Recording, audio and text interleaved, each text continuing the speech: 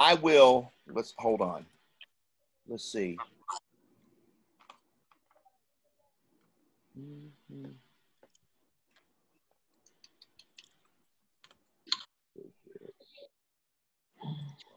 Print that shit out when I go home. Okay.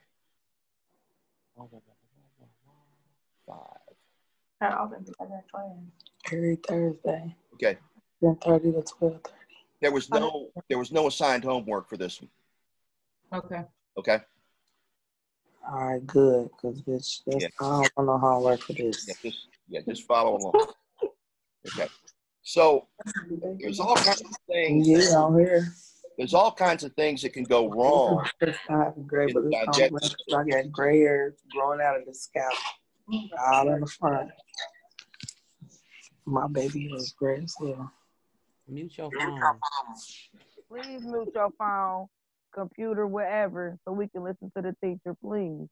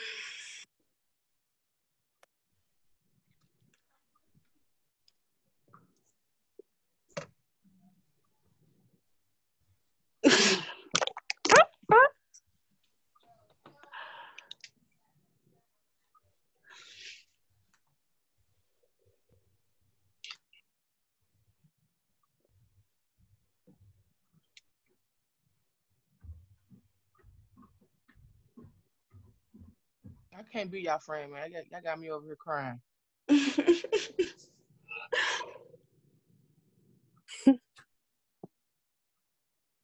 What charger?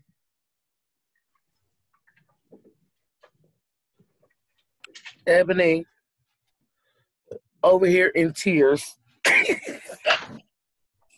got look. I start looking like what? Child, Yeah, poor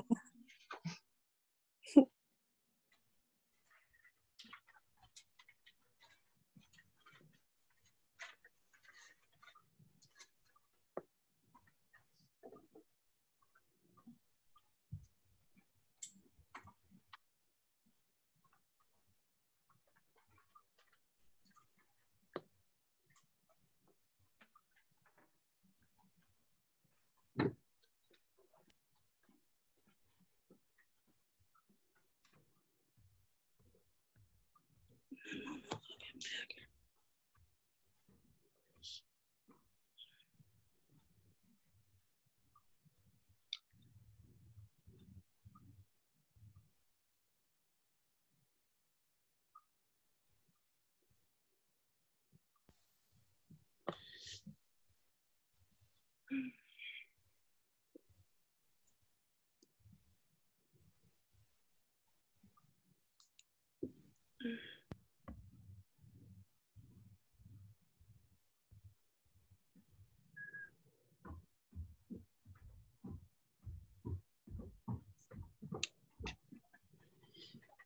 Is he talking? I'm confused. I don't hear nothing. Mr. Converse.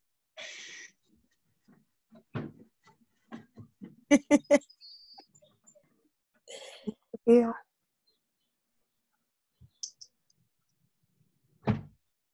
Is, is the host even here? Oh.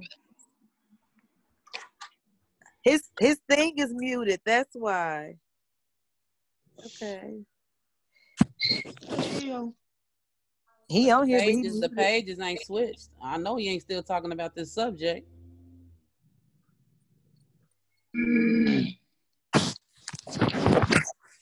This a hot mess. Green, break me, please. Yes. As long as my grade is good, I'm cool. Shit. Me Yeah. too. I don't know. Uh, I'm I'm scared to see what that midterm gonna look like. Shit. What other class are you guys in? I'm Kelly. in uh I'm in A and P. I'm gonna take that uh that midterm later on, and then uh two days ago I took my math uh midterm. Yeah, me too. Who's That your was- math teacher? Uh, the, our same A, uh, A, A and P teacher, mine is. Mine Okay. too. Yeah, now we had talking. Midterm. I got Joe and somebody else. I ain't seen no math midterm. Ours ain't up at. Yeah, we ain't had no math midterm. He just he just gave us what week five to do two discussions Mhm. and two homeworks. Do y'all use the Connect? Um. But they ain't doing what we doing. We doing calculations and doses and shit already. Okay. Yeah, Yeah. we- We use the Connect thing, the Okay. McGraw Connect, McHill, whatever it's Mhm. called. I had to Last pay. time we was all taking the same classes. No, I had to pay for that damn. Um, I, I had to did pay for my my. Connect. I did too. It was like ninety dollars. I lost my damn card that came with my book. I think it fell off. That uh, that Oh, CD they give you, that Oh, card, it fell off. I had to pay ninety five dollars. I was mad as hell. Damn. Mm, But what's going on though? but I want to know, Maybe he sleep. Mr. Richard. Man, shut the fuck. Say, Who fuck, man? Maybe he's asleep. Nah, I'm done. I'm done. I'm not on y'all today. He better not be getting none of that with that. Ugh. I'm crying. Y'all so stupid. Who the fuck is two Avenue you nine? drama. oh, we can. But too smart. Y'all crazy. Y'all funny as hell. Which other file is it?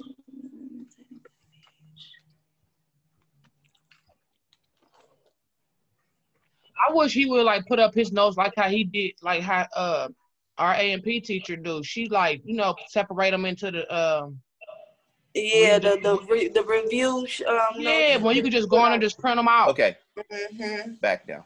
Gotcha. Okay, You back? I had a setting wrong, guys. Okay. I'm on ileostomies and colostomies. Um, the idea with this is that you bypass part of the digestive system and you basically move the material into a bag that hangs off your lower trunk. Okay. And that's um, because part of the intestine's either been surgically removed or it's no longer functioning. Uh, it could be either a temporary or permanent condition. Um, if it's a, a temporary condition, what will happen is there'll be a second surgery where they rejoin the functioning part of the intestine to the rectum and the anus, and you're able to um, restore flow. Okay. Uh, diverticulosis and diverticulitis are basically pouches that develop in either the large or small intestine, and the result of that is that food can jam in those little areas, and they can inflame and they can potentially rupture. All right. Inflammatory bowel disease is basically um, a condition that we that we label idiopathic, meaning we're not really sure in many cases what the cause is. But what happens here is that you have a an unpredictable and overactive bowel. All right, and so that conditions can include things like constipation or diarrhea. Cholecystitis is gallstones, which can jam in your cystic duct or bile duct. Uh, pancreatitis is an inflammation of the pancreas, all right, and that can lead to destruction of the pancreas. Liver disease is a broad set of conditions that damage the liver's ability to do its job. Um, most of this falls under the umbrella of what's called hepatitis. And if you lose liver function, you lose your life. In celiac disease, what we have is a, an inability to deal with a particular protein in wheat flour. So you have to avoid that in the diet. And then bariatric surgery is just a, a way to um, change the amount of food that you eat by changing the dimensions of the stomach or uh, shortening the digestive system so that you don't have as much area for absorption and the use of the nutrients. Okay. So those are what we're going to kind of pop through today. Um, So let's start with nausea and vomiting, right? This is the body's response to an irritant in the tract. And the idea behind this is we want to get rid of it, okay? It could be a toxin from food poisoning, it could be a pathogen like a bacteria or a virus, okay? So what we have to figure out is what's causing that, okay? And look at what the emesis, that's the throw up, look at what it looks like. Um, if we have uh, stuff that looks like coffee grounds in the emesis, then that means there's blood. Uh, pale green indicates there's bile, okay, and that's going to inform how we how we treat, okay. Once we're no, no longer throwing up, okay, we're going to start with clear liquids, followed by full liquids, and then we're going to go to low fat, high carb because that's well tolerated. We avoid liquids with meals because they promote a feeling of being full. That's called satiety.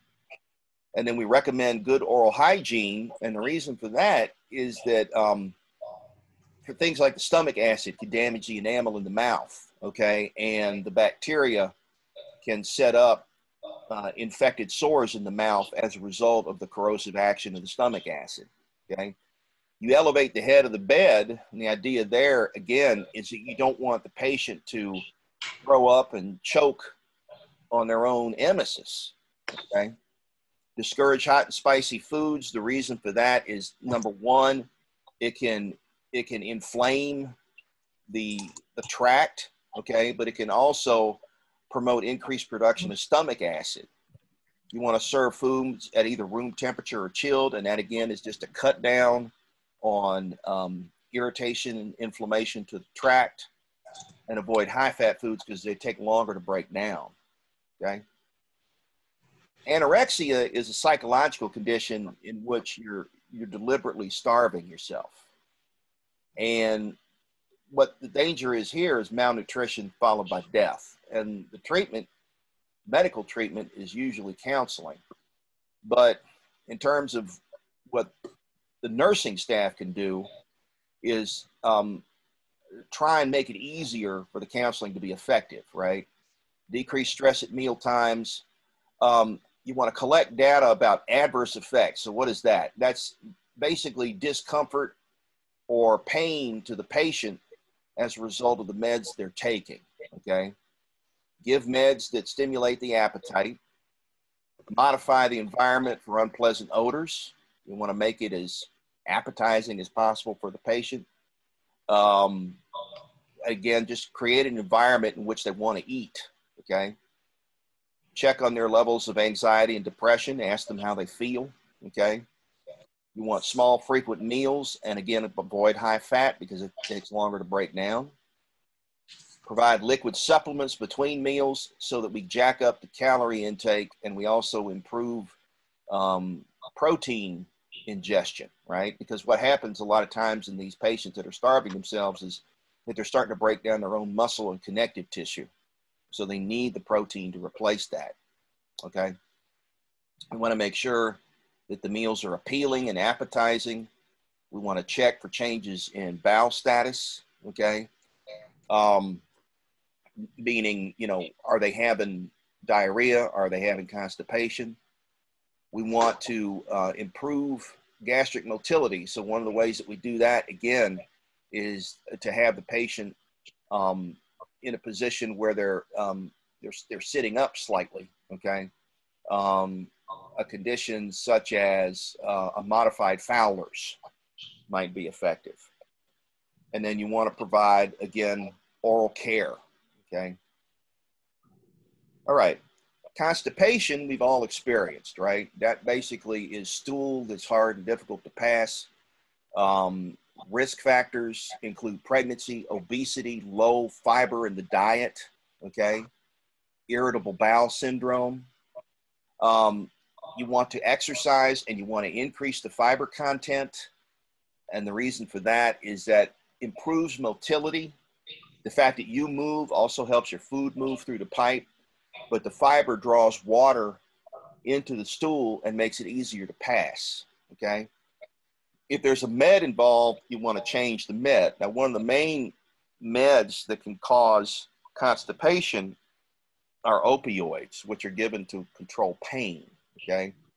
An example would be if they're giving you um, oxycodone, all right, um, or Oxycontin um, to try and control your pain, you may experience constipation. So frequently they'll give you a laxative along with that to control. Okay. What should the nursing staff do? Determine um, when and where you poop, right? And you know how how firm is the stool. Okay. Collect data about past surgery and medical history. Okay.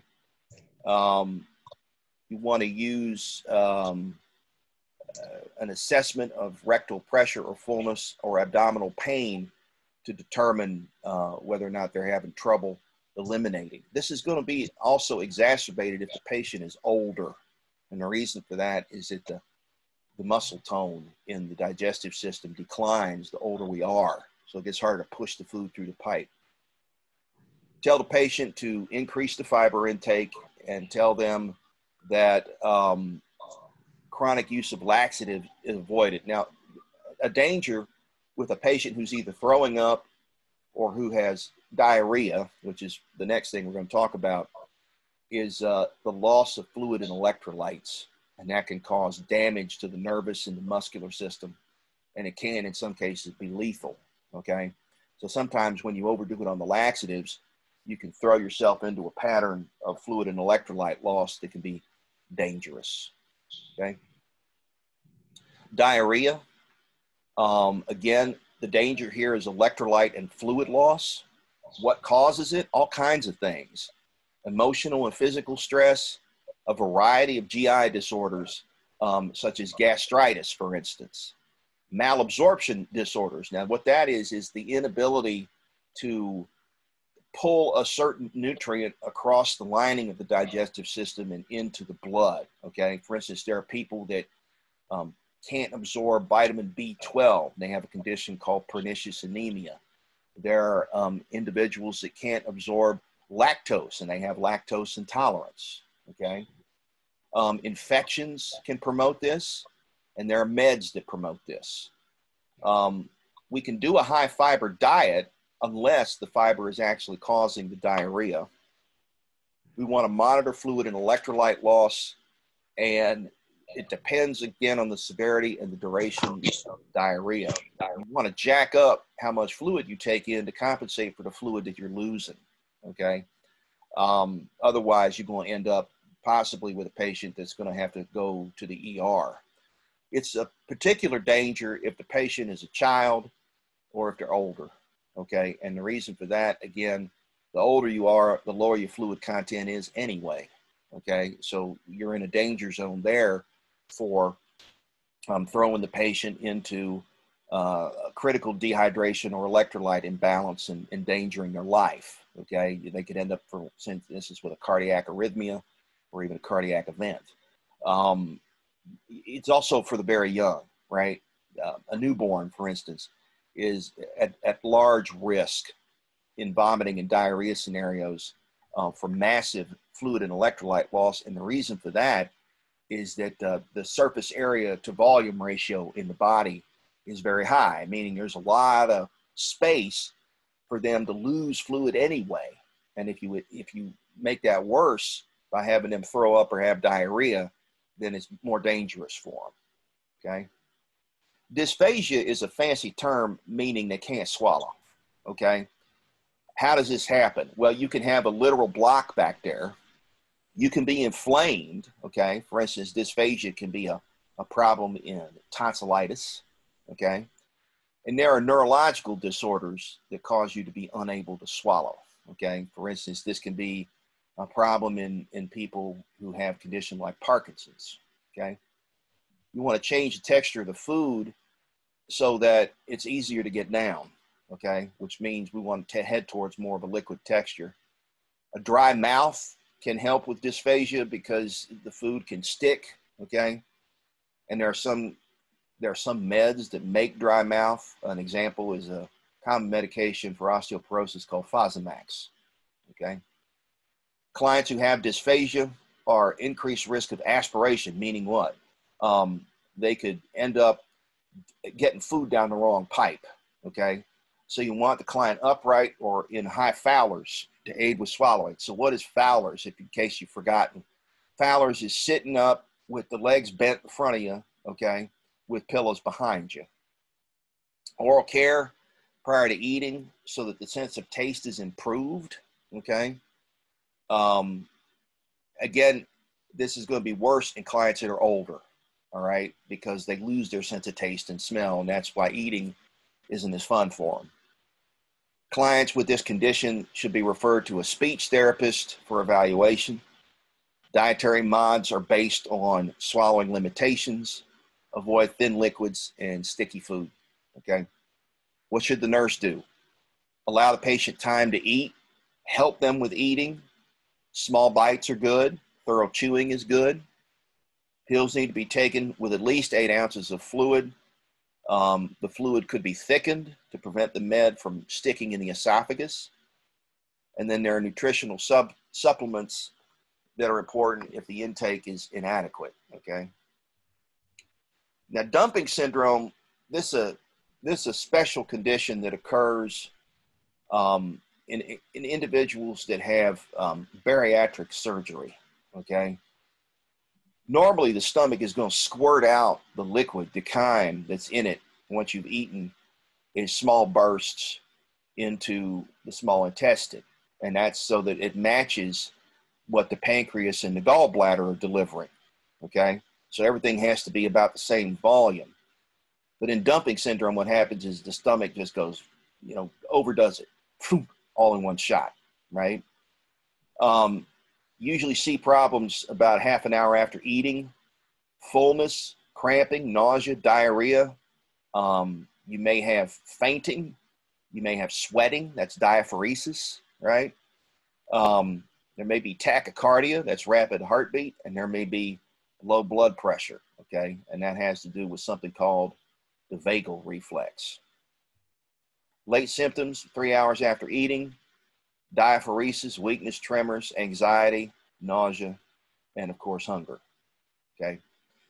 Um, once the intestine is emptied, the problems go away.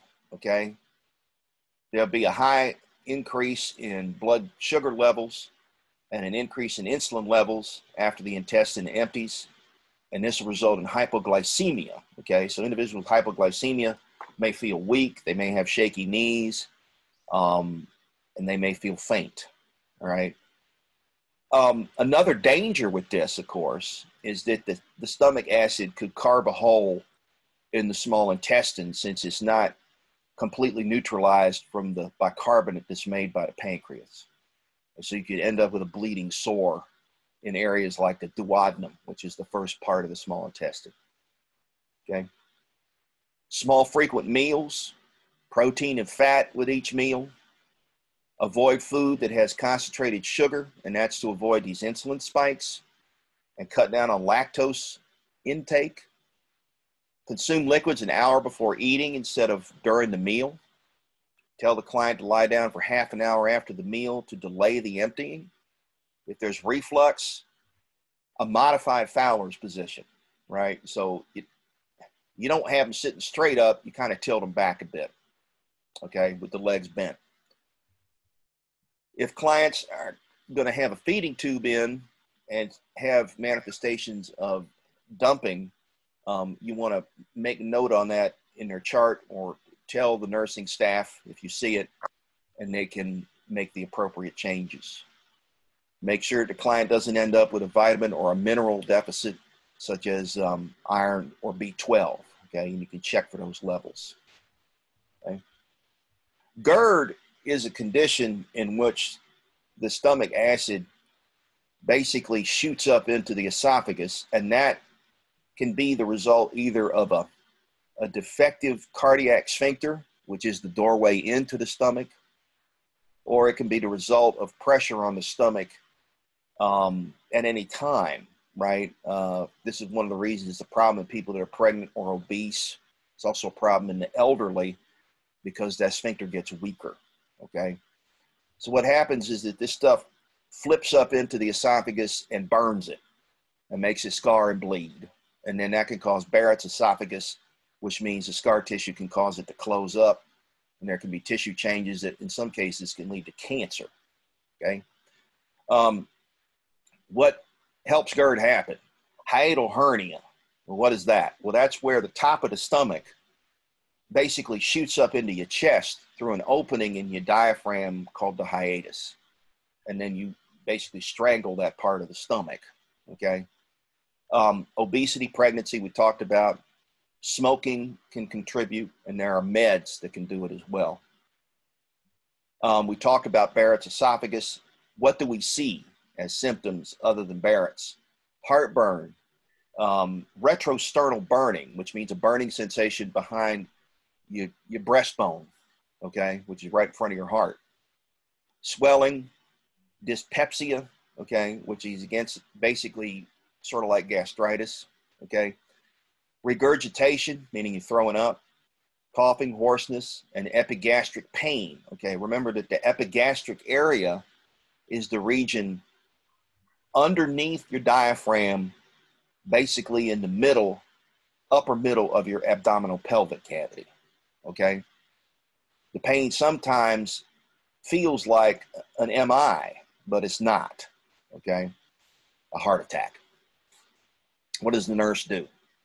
Tell the client to avoid situations that lead to increased abdominal pressure. So, like lose weight. Um, if you're going to rest, you want to rest on your side, okay? Or you might want to rest in a Fowler's, okay? Avoid tight fitting clothing. Tell the client to avoid eating two hours before they lie down, right? Because the food's going to be in there and the pressure on top of the stomach can make the condition worse because it push it back in the opposite direction. Elevate the body on pillows instead of lying flat, right? Um, weight loss, always good. Avoid triggers. Okay, some clients, some patients are going to eat foods that make this happen worse, right? Anything spicy or acidic is going to make this worse. So that would be things like orange juice and lemonade, okay? Uh, carbonated beverages, which basically have carbonic acid in them, all right? Avoid items that reduce the lower esophageal pressure, lower esophageal sphincter pressure. Um, those include fatty foods, caffeine, chocolate, alcohol, and cigarettes, okay, as well as nicotine. Okay. Gastritis, all right? This is inflammation of the stomach lining, okay? What happens is you get blood and fluid in there and it gets inflamed. There's a reduction in acid production, too much mucus, and then you're going to end up with ulcers that can bleed, okay? And then in some cases, perforate, meaning puncture. Um, really bad gastritis, um, NSAIDs, okay, non-steroidal anti-inflammatory drugs thin the mucus that protects the stomach lining, and it makes it more likely that the stomach acid is going to carve a hole in the lining, okay? Bile reflux, all right, which is basically having bile shoot up into the stomach because the bile has a detergent activity and can break down the mucus and make it easier for the acid to do damage eating a strong acid or alkali, okay? The acid just contributes to the, the corrosive action of the stomach acid. The alkali, the reason that that's going to be a problem um, is that if you take in an alkali, sometimes what will happen is the stomach will overcompensate by making too much acid, all right? Um, it could be a complication of radiation therapy because it, in, when you're doing radiation to chemo, you can literally thin the lining of the stomach by reducing the rate at which it repairs itself. Okay. It can be a complication of trauma. All right. Chronic gastritis happens when there's ulcers. Um, Helicobacter, we talked about, right? That's the bacteria that can be the bad actor here by colonizing the lining of the stomach. It can inflame it, and then the acid and the inflammation can start to carve a hole in the lining. Okay. Autoimmune disorders, um, basically what's going on here with an autoimmune disorder is that your immune system is attacking your own body. Okay. One particular autoimmune pernicious anemia, all right, is where we have a problem absorbing B12 across the stomach lining. That's usually due to a lack of something called intrinsic factor. But what can happen in addition to um, not having the intrinsic factor is that the immune system can actually break down the stomach lining itself and make it more um, more prone to getting holes or or penetrating wounds in it. Okay, a poor diet and reflux of pancreatic secretions and bile can cause trouble as well. What do we see? Abdominal pain and discomfort, headache, nausea, anorexia. Lethargy is just a fancy term meaning you're moving slow. Okay, hiccuping, heartburn, belching, a sour taste in the mouth. Now you might wonder, well, what's that about? Well, acids have a sour taste to them. Okay, an example would be something like uh, citric acid or vinegar. Okay, those are those are both acids and they have a sour taste. Um, vomiting, bleeding, and hematemesis, which is throwing up blood. Okay. Recovery from acute gastritis, usually in a day, but can take maybe a couple of days. The client should stay on a bland diet when able to tolerate food. And then sometimes we do IV fluid replacement, right? So we hook you up and rehydrate you. Okay. Usually we use something called isotonic saline to do that. When it's due to ingesting a strong acid or an alkali, we try to dilute and neutralize whatever it is you took in we don't want to do emetics, which are medications that induce vomiting, because when it, stuff comes back up the other way, um, you could damage the tract. Okay. Um, lavage is the same idea, right? Basically, what you do is you try to flush out the stomach by by sending in liquid and bringing it back up, and that can bring up damaging material, right? So what you want to do is is uh, neutralize instead of flush it out, right? You want to neutralize it first before you eliminate it. Tell the client to avoid frequent meals and snacks. Tell the client to avoid alcohol and cigarettes and aspirin and other non-steroidal inflammatories, okay, and spicy foods and caffeine. All of these do what? They either thin the mucus in the stomach or they increase acid production. And then check the client for vitamin deficiency, especially low vitamin B12. Now you might wonder, well, how do you check for low vitamin B12? One of the ways you do that is you take a little blood sample and then you do what's called a hematocrit, okay? And people that are low in B12 and have pernicious anemia are going to have fewer red blood cells in their blood, okay? All right. So that's the end of this particular block here. And what we're going to do is break for 15 all right. Um, and then we'll come back and hit kidney. Okay. Now, we kind of we talked a little bit about kidney before, but um, we might want to review what the kidneys do before we get full bore into it, um, so that um, you understand why we're making the dietary changes that we're making. Okay, so let me um, let me put up the time back. File new. It's 14. And we'll be back here at, let's say, uh, 10, 1040. Okay. So I'll put that in. Insert. I mean, 1140. 1140 or 1040? 1040 is past. 1140. There we go. Uh-huh. Thank you. Did he do attendance? Did you do attendance? I'm going to do it after we come back from the break. Okay, great. That way I know everybody's here. Right. Okay.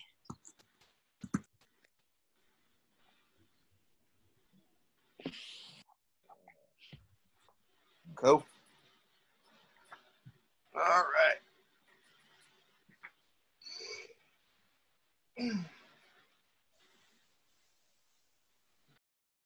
He's stressing me the fuck out. I hope we go over I think he's in now. He And here. that old one, Oh, there he is. Where? Where he at? The recording? Yeah.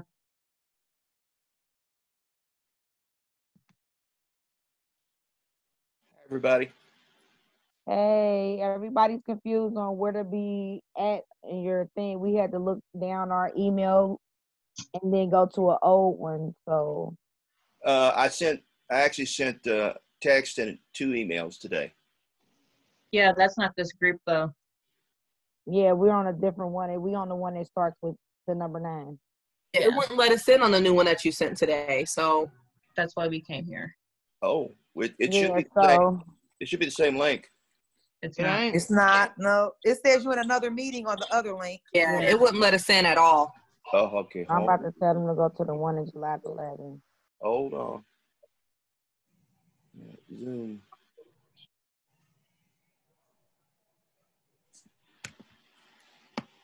Mm-hmm. I said July.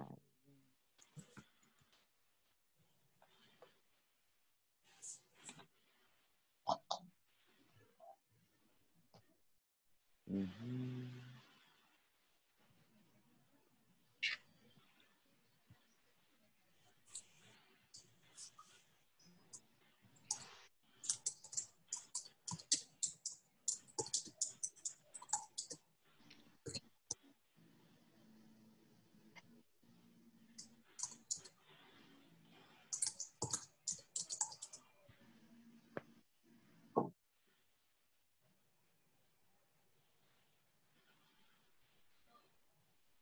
Look at her boss. I put your hair in the ponytail.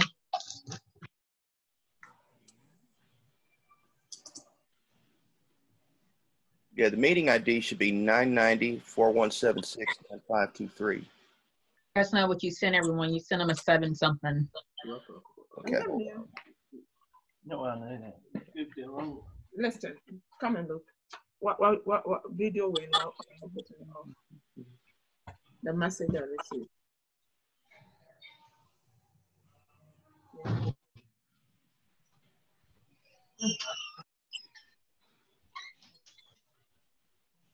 what you do is uh, eh, last week, yeah, no women. Eh?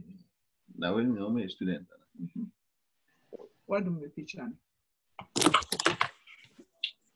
Yeah. That is uh, killing. It's Cassandra. Oh, oh, Cassandra.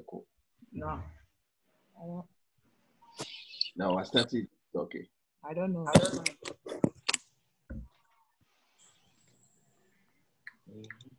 Mm-hmm.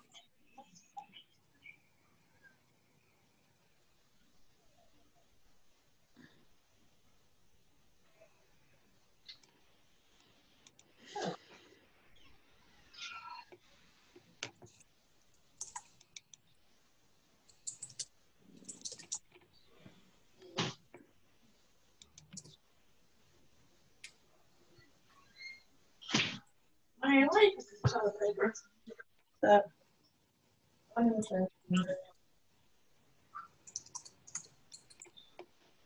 Are we gonna be going over the exam?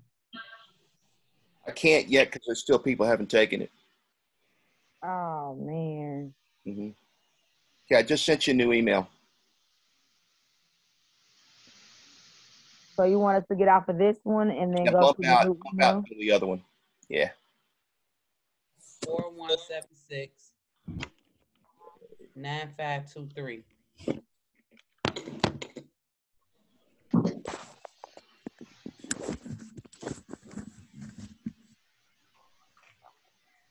Hello. Yeah. I have a question. This is Nina McQuarter. Yeah. Um, I was kind of talking about the percentage on the um um um attendance, right? Right. Mine's is saying I thought mine's saying zero, and I've been here since day one. Um, hold on. Let me get this. Ah, okay.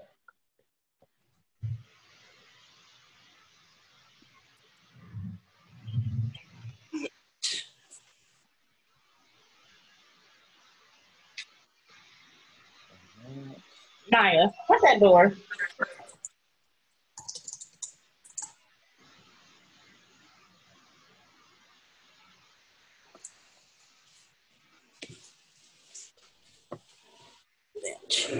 Yeah.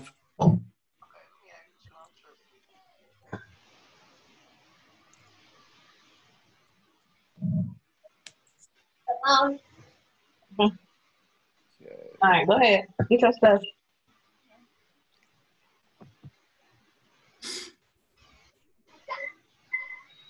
Okay. Updated link is out there, so hop over to that one, and I'll join you over on the other link. Okay. Alrighty.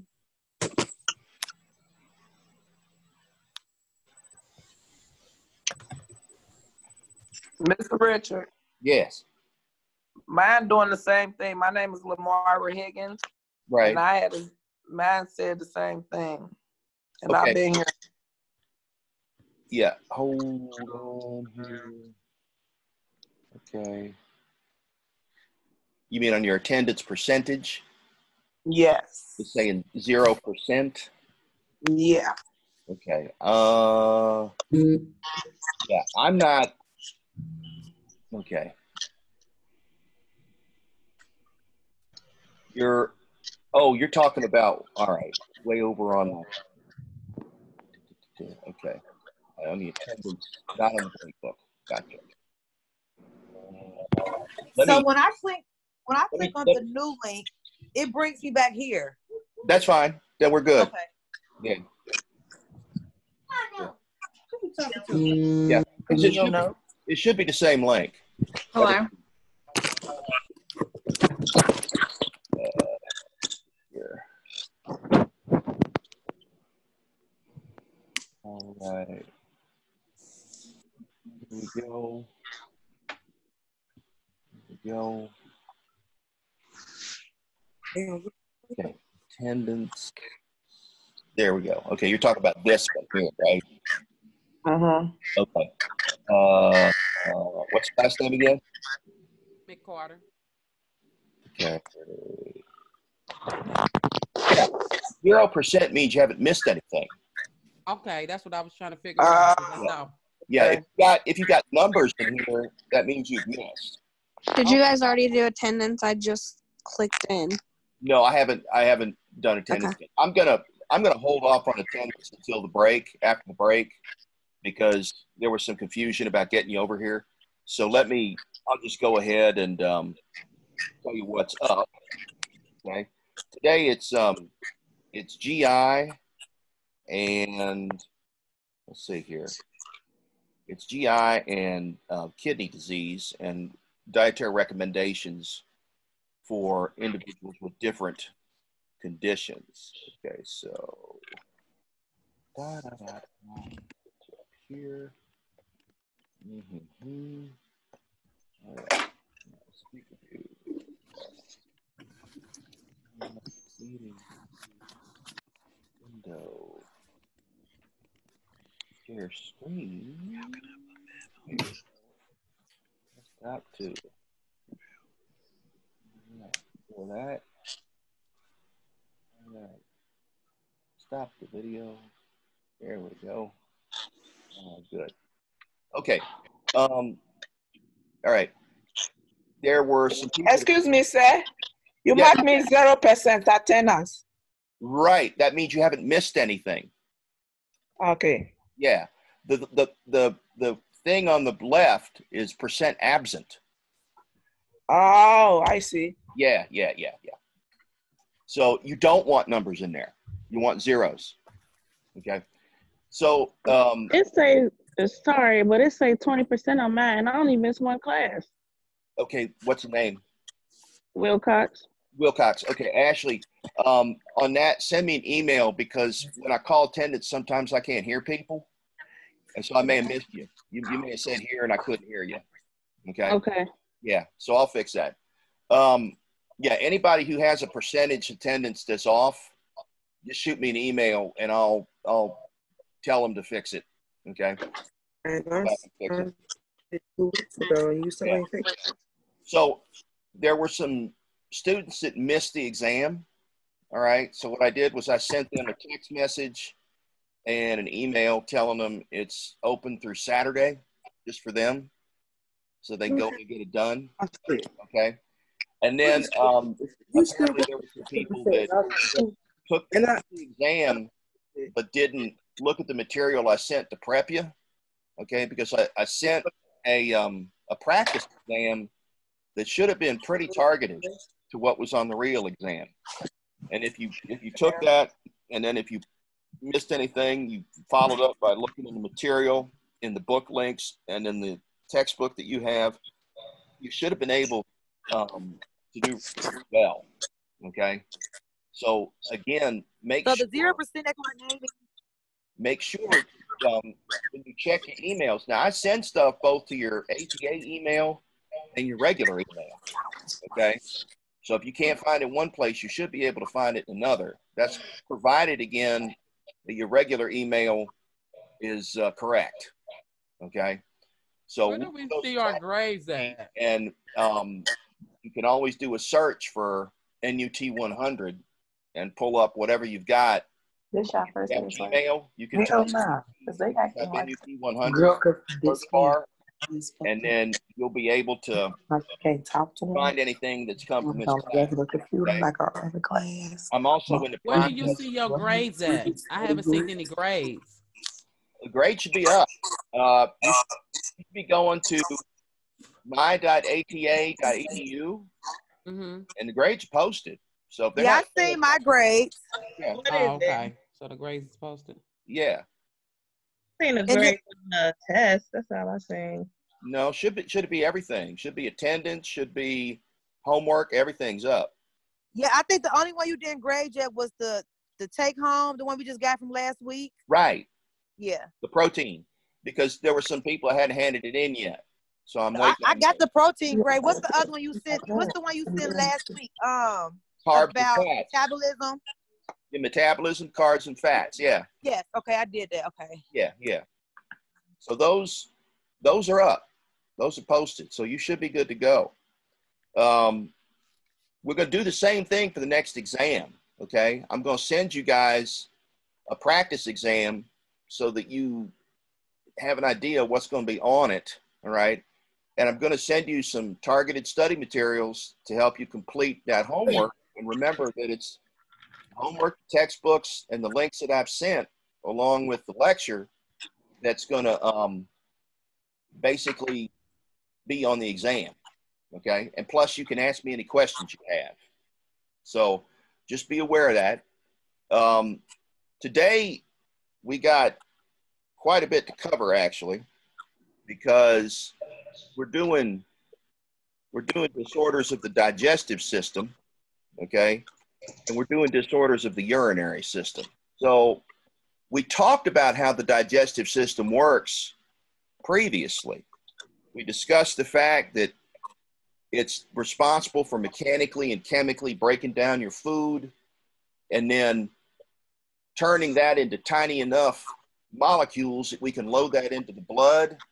From the blood, that eventually gets to the liver, or from the lymph to the blood to the liver in the case of your fats. And then the liver will turn that into sugars or fats or amino acids um, and allow that to get to the tissues and the cells in the body to use for energy and building blocks.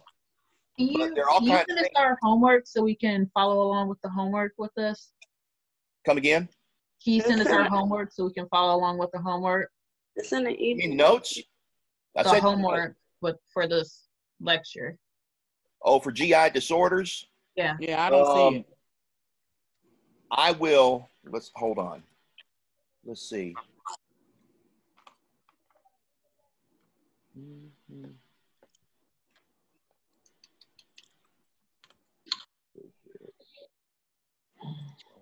Print that shit out when I go home. Okay. Five. I often do that. Every Thursday, Okay. one thirty to twelve thirty. There was no there was no assigned homework for this one. Okay. Okay. All right, good, cause bitch, that's, Yeah. I don't want no homework for this. Yeah, just yeah, just follow along. Okay. So there's all kinds of things. Yeah, out here. There's all kinds of things that can go wrong. It's not gray, but it's digestive. I got gray hair growing out of the scalp, all in the front. My baby is gray as well. Mute your phone. Please mute your phone, computer, wherever, so we can listen to the teacher, please.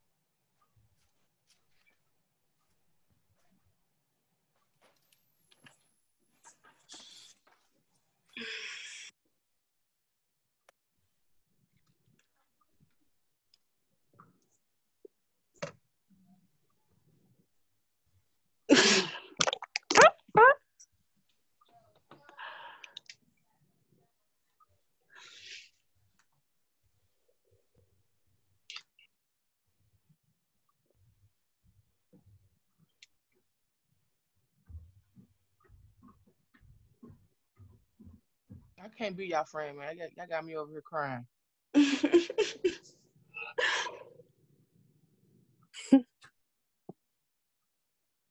What charger?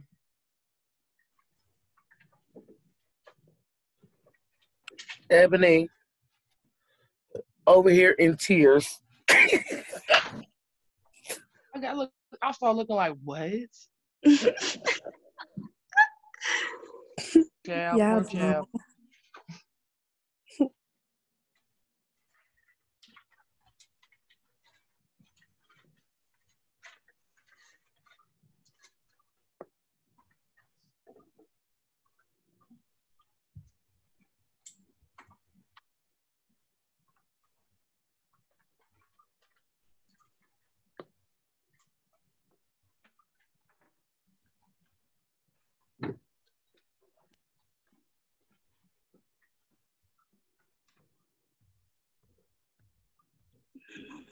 child.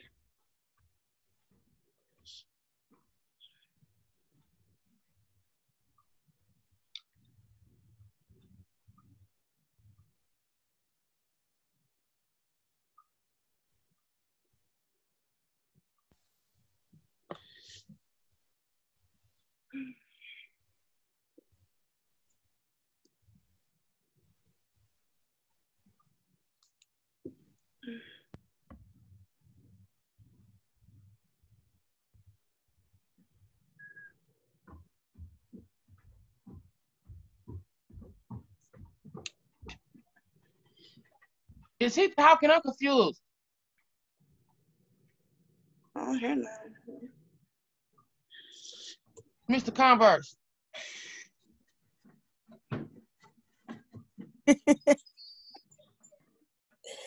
Yeah.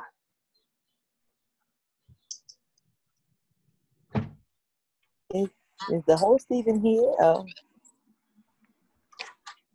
His his thing is muted. That's why.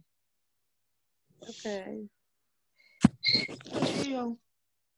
He on here, but he Pages, the pages ain't switched. I know he ain't still talking about this subject.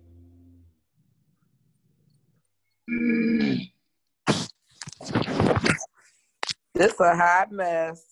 Screen break me, please. Yes. As long as my grade is good, I'm cool. Shit. Me too. I don't know. Uh, I'm, I'm scared to see what that midterm gonna look like. Shit. What other class Man, are you guys in?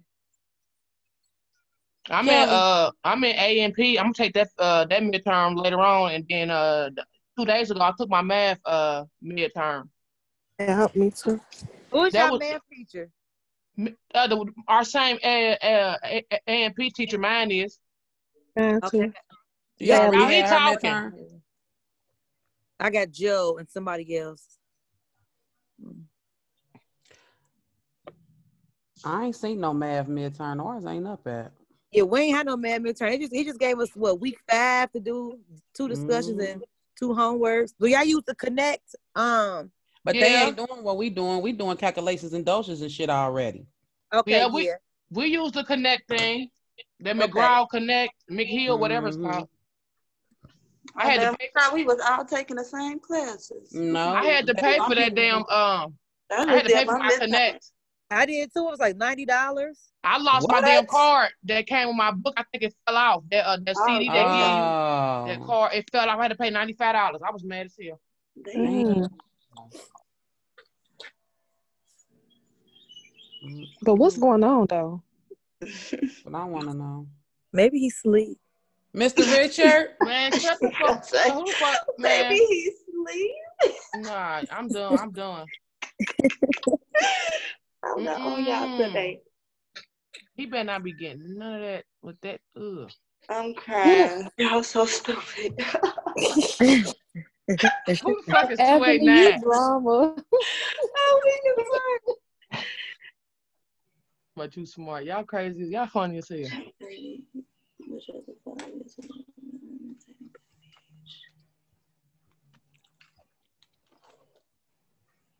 I wish he would like put up his notes like how he did, like how uh our A and P teacher do. She like you know separate them into the um Yeah, the the re, the review. Um, yeah when you could just go on and just print them out. Okay, Mm-hmm. back down.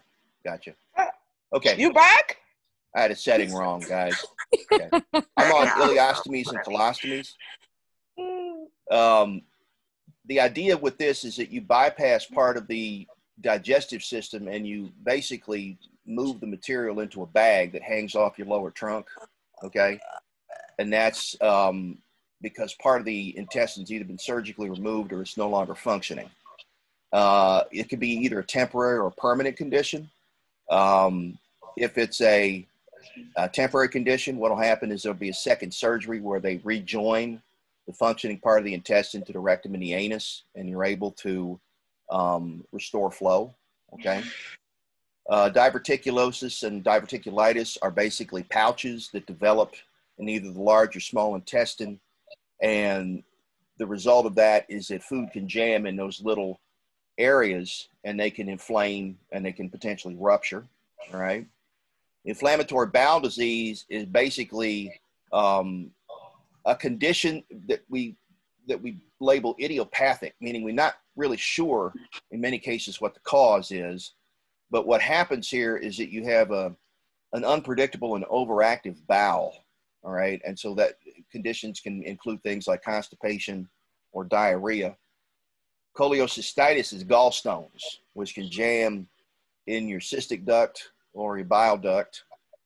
Uh, pancreatitis is an inflammation of the pancreas, all right, and that can lead to destruction of the pancreas. Liver disease is a broad set of conditions that damage the liver's ability to do its job. Um, most of this falls under the umbrella of what's called hepatitis. And if you lose liver function, you lose your life. Is celiac disease, what we have is a, an inability to deal with a particular protein in wheat flour. So you have to avoid that in the diet. And then bariatric surgery is just a, a way to um, change the amount of food that you eat by changing the dimensions of the stomach or uh, shortening the digestive system so that you don't have as much area for absorption and the use of the nutrients. Okay. So those are what we're going to kind of pop through today. Um, so let's start with nausea and vomiting, right? This is the body's response to an irritant in the tract. And the idea behind this is we want to get rid of it. Okay. It could be a toxin from food poisoning, it could be a pathogen like a bacteria or a virus. Okay. So what we have to figure out is what's causing that. Okay. And look at what the emesis, that's the throw up, look at what it looks like. Um, if we have uh, stuff that looks like coffee grounds in the emesis, then that means there's blood. Uh, pale green indicates there's bile, okay, and that's going to inform how we how we treat, okay. Once we're no, no longer throwing up, okay, we're going to start with clear liquids, followed by full liquids, and then we're going to go to low fat, high carb because that's well tolerated. We avoid liquids with meals because they promote a feeling of being full. That's called satiety. And then we recommend good oral hygiene. And the reason for that is that um, for things like the stomach acid can damage the enamel in the mouth, okay? And the bacteria can set up uh, infected sores in the mouth as a result of the corrosive action of the stomach acid, okay? You elevate the head of the bed, and the idea there, again, is that you don't want the patient to throw up and choke on their own emesis, okay? Discourage hot and spicy foods. The reason for that is number one, it can it can inflame the the tract, okay, but it can also promote increased production of stomach acid. You want to serve foods at either room temperature or chilled, and that again is just a cut down on um, irritation and inflammation to the tract, and avoid high fat foods because they take longer to break down. Okay. Anorexia is a psychological condition in which you're you're deliberately starving yourself. And what the danger is here is malnutrition followed by death. And the treatment, medical treatment, is usually counseling.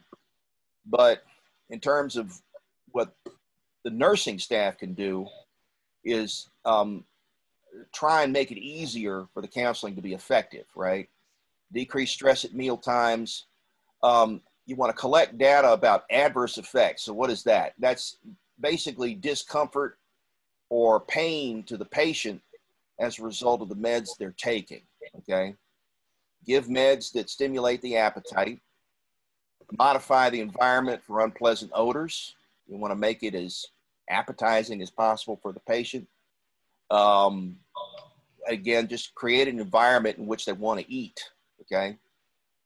Check on their levels of anxiety and depression. Ask them how they feel. Okay. You want small, frequent meals, and again, avoid high fat because it takes longer to break down.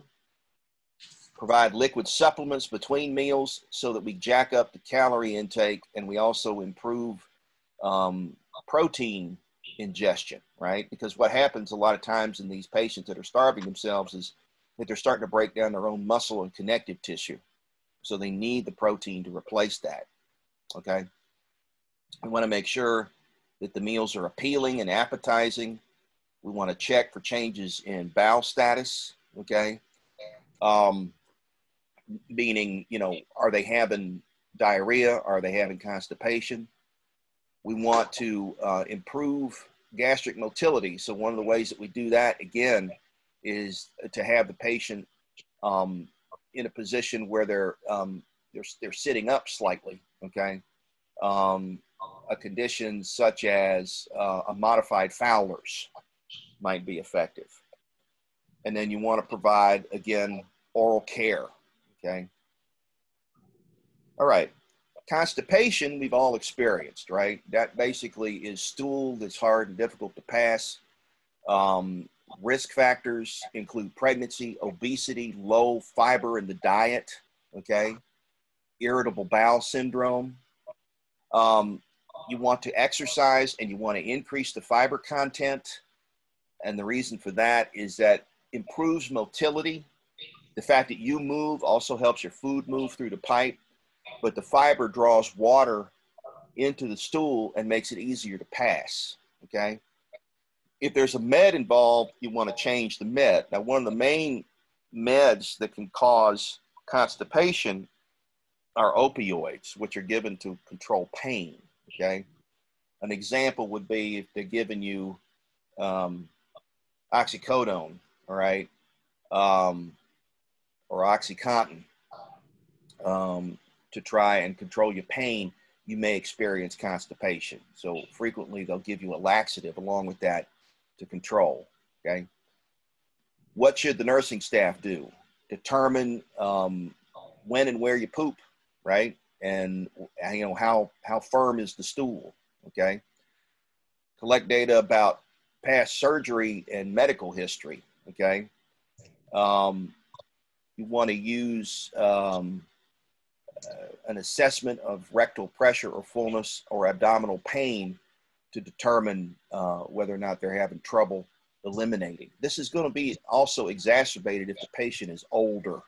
And the reason for that is that the, the muscle tone in the digestive system declines the older we are. So it gets harder to push the food through the pipe. Tell the patient to increase the fiber intake and tell them that um, chronic use of laxative is avoided. Now, a danger with a patient who's either throwing up or who has diarrhea, which is the next thing we're going to talk about, is uh, the loss of fluid and electrolytes. And that can cause damage to the nervous and the muscular system. And it can, in some cases, be lethal. Okay.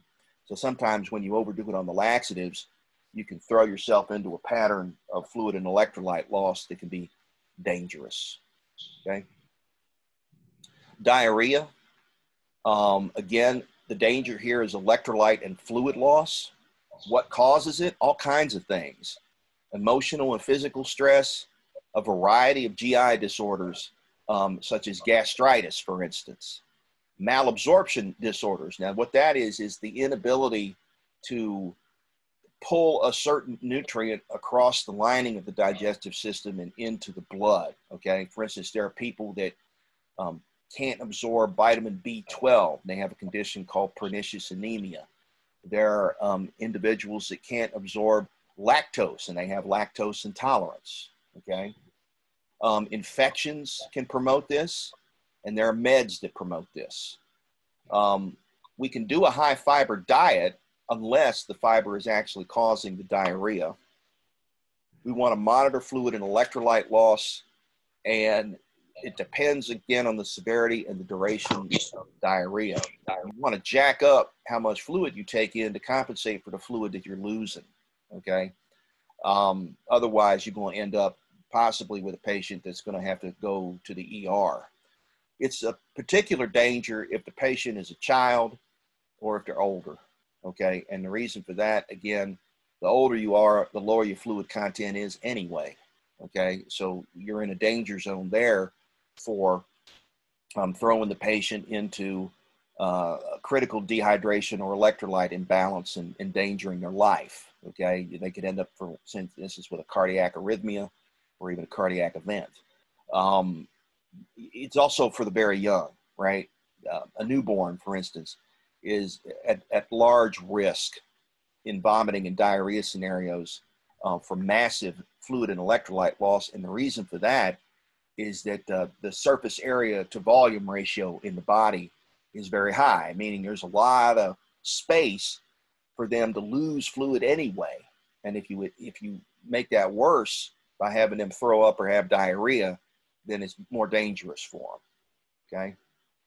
Dysphagia is a fancy term meaning they can't swallow. Okay. How does this happen? Well, you can have a literal block back there you can be inflamed, okay? For instance, dysphagia can be a, a problem in tonsillitis, okay? And there are neurological disorders that cause you to be unable to swallow, okay? For instance, this can be a problem in, in people who have condition like Parkinson's, okay? You want to change the texture of the food so that it's easier to get down, okay? Which means we want to head towards more of a liquid texture. A dry mouth can help with dysphagia because the food can stick. Okay, and there are some there are some meds that make dry mouth. An example is a common medication for osteoporosis called Fosamax. Okay, clients who have dysphagia are increased risk of aspiration, meaning what? Um, they could end up getting food down the wrong pipe. Okay, so you want the client upright or in high Fowler's to aid with swallowing. So what is Fowler's, if in case you've forgotten? Fowler's is sitting up with the legs bent in front of you, okay, with pillows behind you. Oral care prior to eating so that the sense of taste is improved, okay? Um, again, this is going to be worse in clients that are older, all right, because they lose their sense of taste and smell, and that's why eating isn't as fun for them. Clients with this condition should be referred to a speech therapist for evaluation. Dietary mods are based on swallowing limitations. avoid thin liquids and sticky food. Okay. What should the nurse do? Allow the patient time to eat, help them with eating. Small bites are good, thorough chewing is good. Pills need to be taken with at least eight ounces of fluid. Um, the fluid could be thickened to prevent the med from sticking in the esophagus.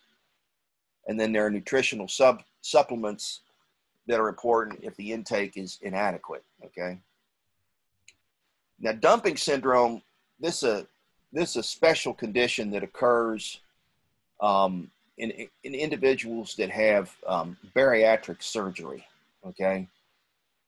Normally, the stomach is going to squirt out the liquid, the chyme that's in it once you've eaten, in small bursts into the small intestine, and that's so that it matches what the pancreas and the gallbladder are delivering. Okay. So everything has to be about the same volume. But in dumping syndrome, what happens is the stomach just goes, you know, overdoes it all in one shot, right? Um, usually see problems about half an hour after eating, fullness, cramping, nausea, diarrhea. Um, you may have fainting. You may have sweating. That's diaphoresis, right? Um, there may be tachycardia. That's rapid heartbeat. And there may be low blood pressure, okay? And that has to do with something called the vagal reflex. Late symptoms, three hours after eating, diaphoresis, weakness, tremors, anxiety, nausea, and of course, hunger. Okay. Um, once the intestine is emptied, the problems go away. Okay. There'll be a high increase in blood sugar levels and an increase in insulin levels after the intestine empties. And this will result in hypoglycemia. Okay. So individuals with hypoglycemia may feel weak, they may have shaky knees, um, and they may feel faint. All right. Um, another danger with this, of course, is that the, the stomach acid could carve a hole in the small intestine since it's not completely neutralized from the bicarbonate that's made by the pancreas. So you could end up with a bleeding sore in areas like the duodenum, which is the first part of the small intestine. Okay. Small frequent meals, protein and fat with each meal. Avoid food that has concentrated sugar, and that's to avoid these insulin spikes. And cut down on lactose intake. Consume liquids an hour before eating instead of during the meal. Tell the client to lie down for half an hour after the meal to delay the emptying. If there's reflux, a modified Fowler's position, right? So it, you don't have them sitting straight up, you kind of tilt them back a bit, okay, with the legs bent. If clients are going to have a feeding tube in and have manifestations of dumping, um, you want to make note on that in their chart or tell the nursing staff if you see it and they can make the appropriate changes. Make sure the client doesn't end up with a vitamin or a mineral deficit such as um, iron or B12 okay? And you can check for those levels? GERD is a condition in which the stomach acid basically shoots up into the esophagus, and that can be the result either of a, a defective cardiac sphincter, which is the doorway into the stomach, or it can be the result of pressure on the stomach um, at any time right? Uh, this is one of the reasons it's a problem in people that are pregnant or obese. It's also a problem in the elderly because that sphincter gets weaker, okay?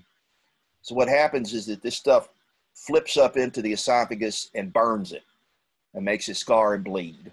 And then that can cause Barrett's esophagus, which means the scar tissue can cause it to close up. And there can be tissue changes that in some cases can lead to cancer. Okay.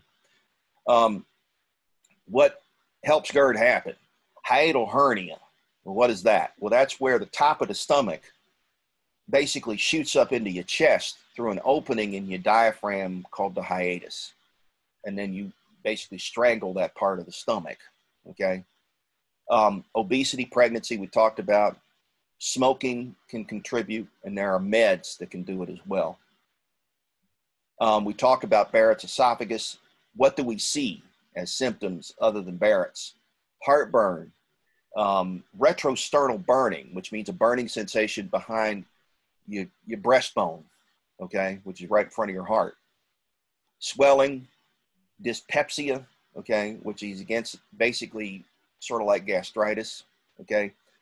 Regurgitation, meaning you're throwing up, coughing, hoarseness, and epigastric pain, okay. Remember that the epigastric area is the region underneath your diaphragm, basically in the middle, upper middle of your abdominal pelvic cavity.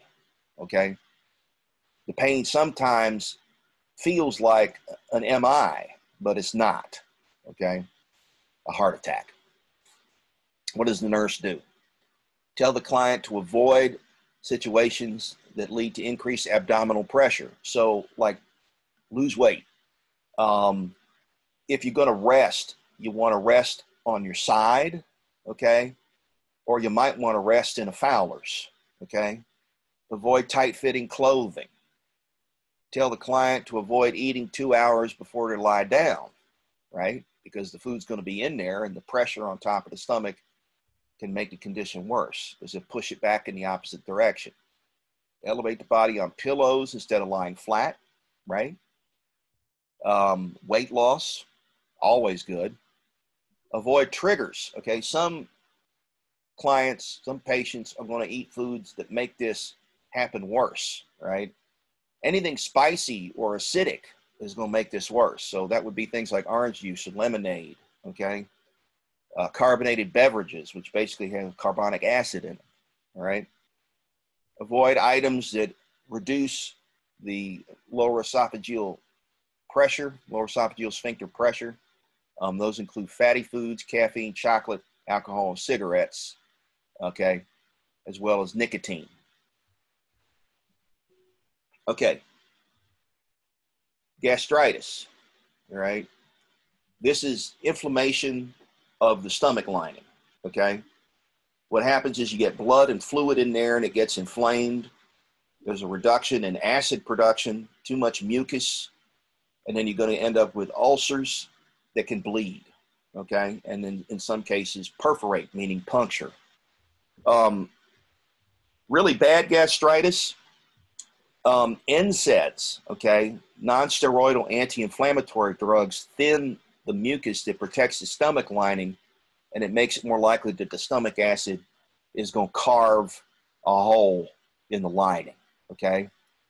Bile reflux, all right, which is basically having bile shoot up into the stomach because the bile has a detergent activity and can break down the mucus and make it easier for the acid to do damage.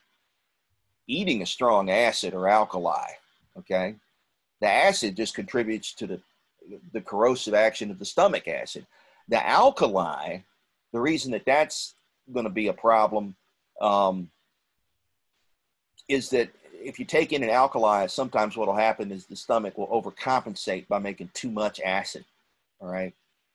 Um, it could be a complication of radiation therapy because it, in, when you're doing radiation to chemo, you can literally thin the lining of the stomach by reducing the rate at which it repairs itself. Okay. It can be a complication of trauma. All right.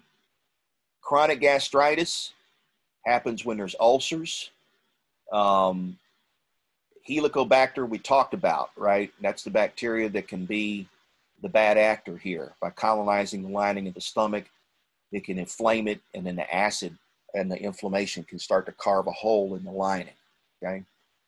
Autoimmune disorders, um, basically, what's going on here with an autoimmune disorder is that your immune system is attacking your own body. Okay. One particular autoimmune pernicious anemia, all right, is where we have a problem absorbing B12 across the stomach lining. That's usually due to a lack of something called intrinsic factor. But what can happen in addition to um, not having the intrinsic factor is that the immune system can actually break down the stomach lining itself and make it more um, more prone to getting holes or or penetrating wounds in it. Okay. A poor diet and reflux of pancreatic secretions and bile can cause trouble as well. What do we see? Abdominal pain and discomfort, headache, nausea, anorexia. Lethargy is just a fancy term meaning you're moving slow. Okay. Hiccuping, heartburn, belching, a sour taste in the mouth. Now you might wonder, well, what's that about? Well, acids have a sour taste to them. Okay. An example would be something like uh, citric acid or vinegar. Okay. Those are those are both acids and they have a sour taste. Um, vomiting, bleeding, and hematemesis, which is throwing up blood. Okay. Recovery from acute gastritis, usually in a day, but can take maybe a couple of days.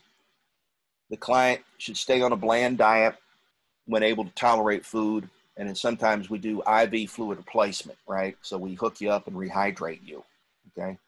Usually we use something called isotonic saline to do that. When it's due to ingesting a strong acid or an alkali, we try to dilute and neutralize whatever it is you took in.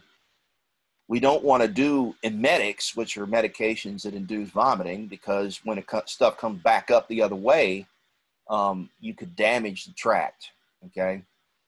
Um, lavage is the same idea, right? Basically, what you do is you try to flush out the stomach by by sending in liquid and bringing it back up, and that can bring up damaging material, right? So what you want to do is is uh, neutralize instead of flush it out, right? You want to neutralize it first before you eliminate it. Tell the client to avoid frequent meals and snacks. Tell the client to avoid alcohol and cigarettes and aspirin and other non-steroidal inflammatories okay, and spicy foods and caffeine. All of these do what? They either thin the mucus in the stomach or they increase acid production. And then check the client for vitamin deficiency, especially low vitamin B12. Now you might wonder, well, how do you check for low vitamin B12? One of the ways you do that is you take a little blood sample and then you do what's called a hematocrit, okay? And people that are low in B12 and have pernicious anemia are going to have fewer red blood cells in their blood. Okay. All right. So that's the end of this particular block here. And what we're going to do is break for 15. All right. Um, and then we'll come back and hit kidney. Okay.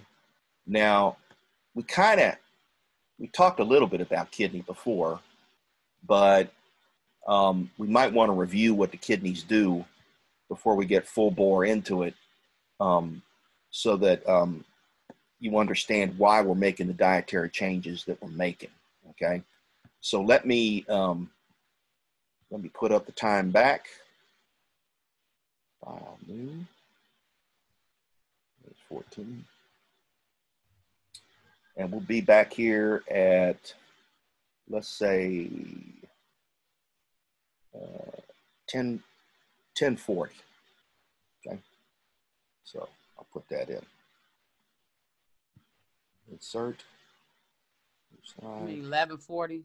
1140 or 1040? 1040 is past. 1140. There we go. Uh-huh. Thank you. Did he do attendance? Did you do attendance? I'm going to do it after we come back from the break. Okay, great. That way I know everybody's here.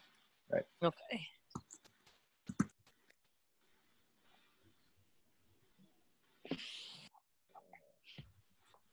Go. All right.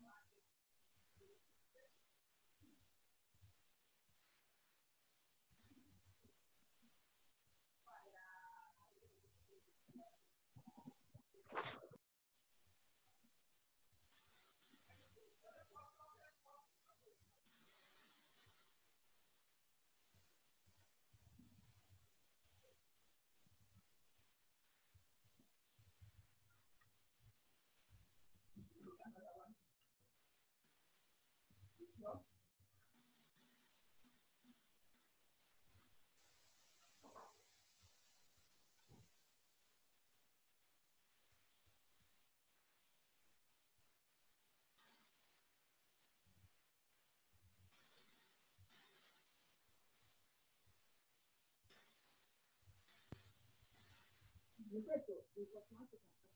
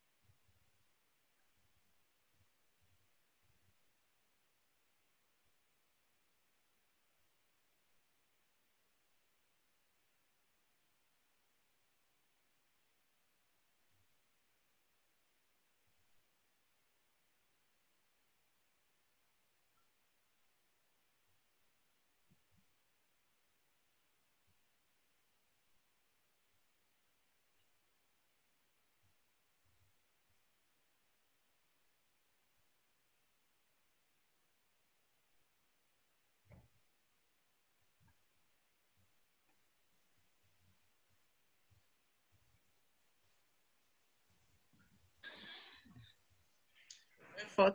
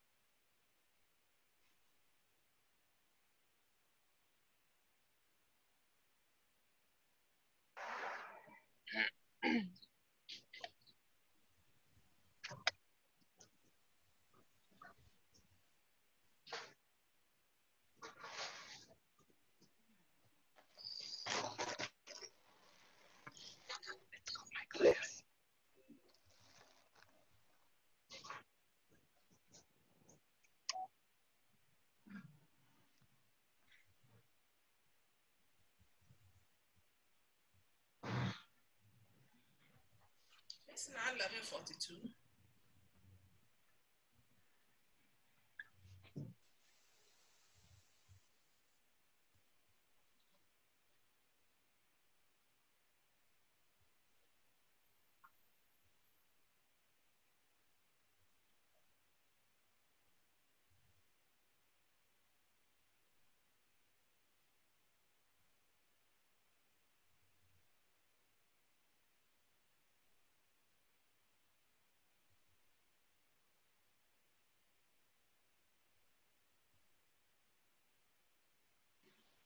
Okay, everybody.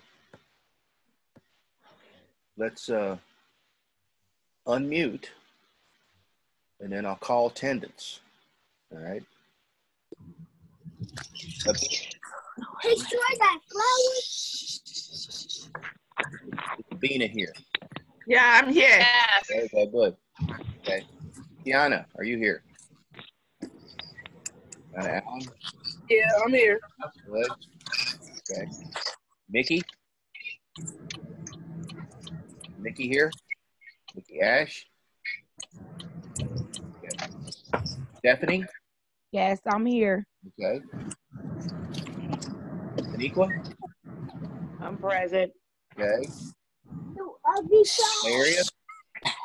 Here. Good. Kiara? Here. Good. Deja? Here. Good. Ivana? Tiana? Here. Good. Lamara? Here. Good. Marlicia? Hinton? No. Brittany? Brittany here? Jessica? I'm here. Brittany's here. There we go. Oh, you passed my name, Mickey. Courtney? Courtney hmm. here? No Courtney. Dina? I'm here. Good. Nina? I'm here. Good. Elisa? McIntyre? Marianne? McGee? Here. Go. Ebony? I'm here. Ebony's here, good. Mariah? I'm here. Good. Gabby? I'm here. Good. Devon? Here. Good. Here. Good. Jen? Taylor? Here. Good. Tracy? Here. Good. Ashley? Jessica Wooling? Justice? Haley? All right. I'll go back. Anybody I missed? Mickey? Mickey? Donna? Marlicia? Here. There we go. Courtney? No Courtney? Sharlisa? No Sharlisa? Ashley? Jessica? Justice? Haley? All right. Mickey, Mickey? Mickey? Mickey, he called your name. Mickey here? Yeah, she ain't saying no, but I seen her name. All right, I'll put her in. All right, I'll print. Okay. I'll get you an outlet in a second. Just wait a minute.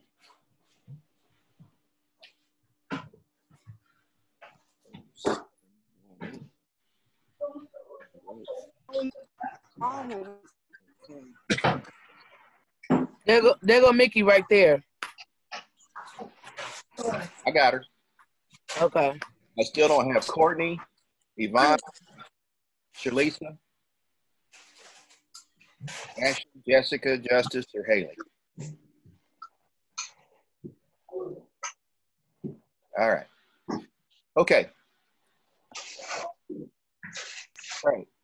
So next topic is um, next topic is renal. Okay. Renal disorder. Okay.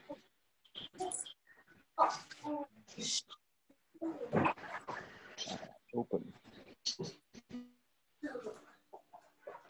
Do you want me to cut your mouth? Do you want me to cut your mouth? All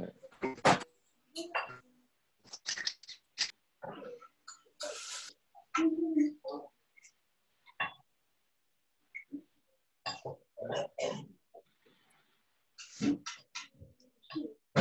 Okay.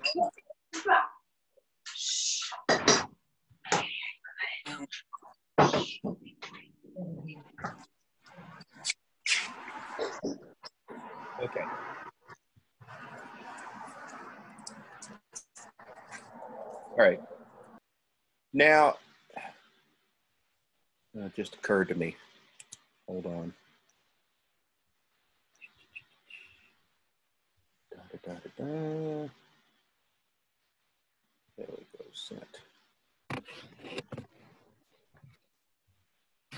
Hmm. Oh,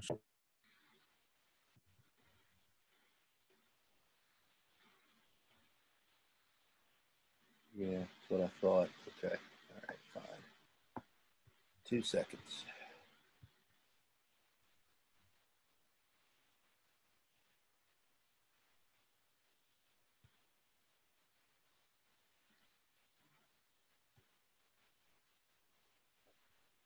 Mm-hmm.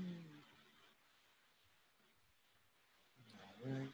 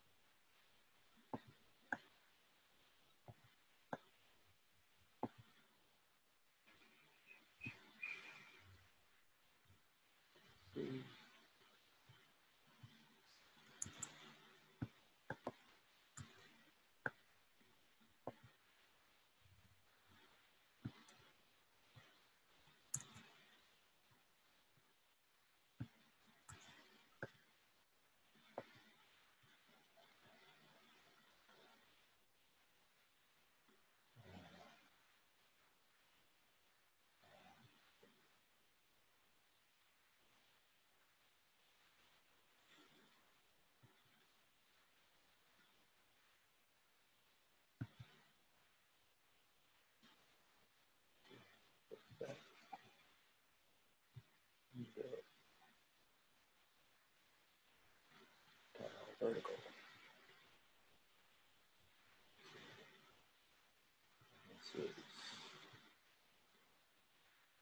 Page four.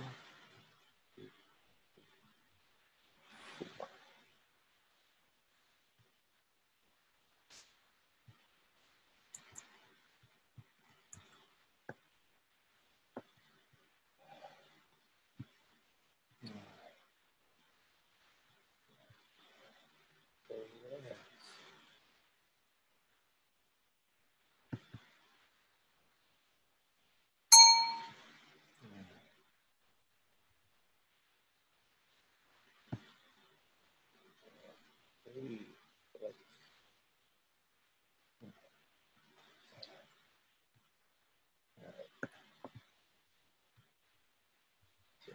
you?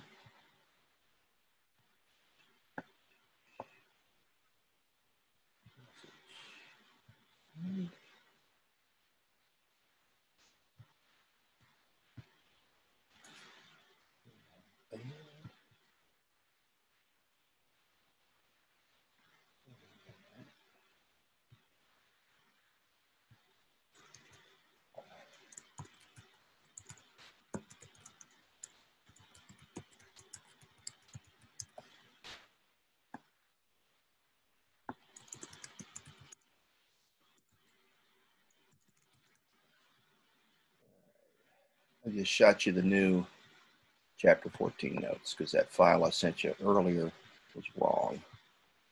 So that should pop up in two seconds. All right. Close that.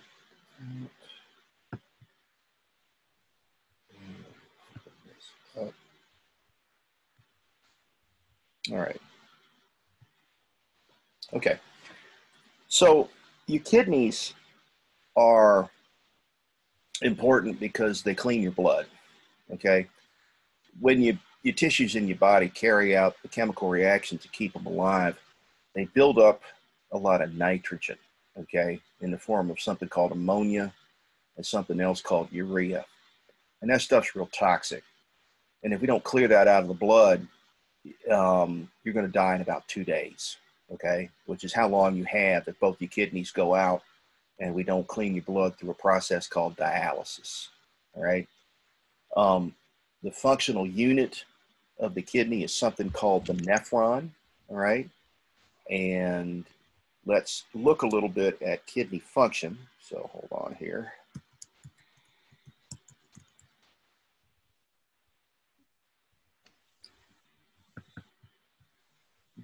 Mm.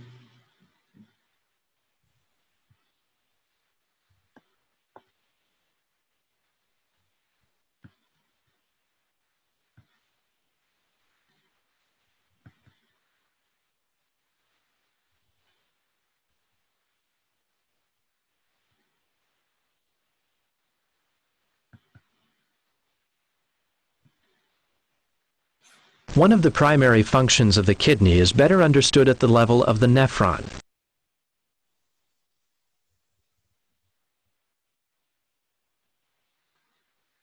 In forming urine, the nephron functions to remove metabolic wastes from blood while regulating the volume and composition of body fluids.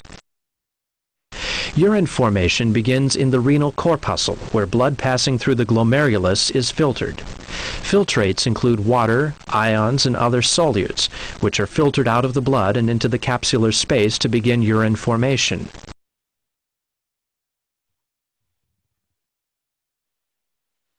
Urine passes into the proximal convoluted tubule, then into the nephron loop. The nephron concentrates urine by the process of the countercurrent multiplication system. The countercurrent multiplication system is basically the means by which water and sodium are extracted from the filtrate as it passes through the tubules toward the collecting ducts. This system is called countercurrent because of the dynamics set up by the hairpin turn of the loop of Henle. The direction of flow in the descending limb of the loop is opposite from the direction of flow in the ascending limb. By flowing in opposite directions in such close proximity, a unique interaction occurs. The loop of Henle dips from the cortex of the kidney into the medulla and is surrounded by the medullary interstitial fluid. The countercurrent multiplication system is responsible for not only elevating the concentration of urine in the loop, but more importantly, it elevates the concentration of the interstitial fluid as well. To explain the countercurrent multiplication system, we must first imagine the loop filled with a stationary column of glomerular fluid, which includes water, salt, and urea. At first, the concentration of the glomerular fluid and the surrounding interstitial fluid will be equal at an osmolarity of 300 milliosmoles. Within the walls of the thick segment of the ascending limb, special pumps extract salt, sodium chloride, from the fluid and transport it to the interstitium. The two areas no longer have an equal osmotic pressure and a gradient has been established. Within the thick segment, the concentration is at 200 milliosmoles, whereas in the medullary tissue, the concentration is at 400 milliosmoles.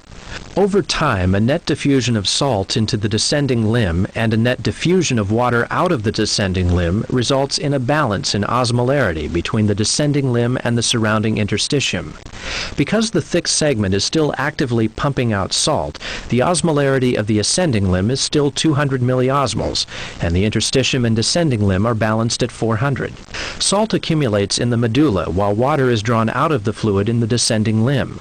Water is removed by the vasa recta, which are capillaries that surround the loops.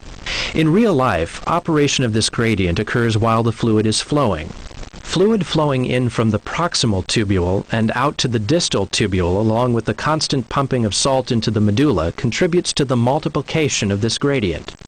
As fluid follows the path of the loop, an increasing amount of water is extracted as it reaches the bottom, and an increasing amount of salt is pumped out as the fluid reaches the top. The more salt pumped out, the higher the concentration in the medulla. The higher the concentration in the medulla, the more water is extracted. Eventually, the levels of osmotic pressure are equal horizontally, with the highest value being at the tip of the loop. This level is at 1,400 milliosmoles per liter, which is also the value of the maximal osmolarity of excreted urine. As you can see, fluid becomes more concentrated as it rounds the loop, but it immediately becomes rediluted as it reaches the top.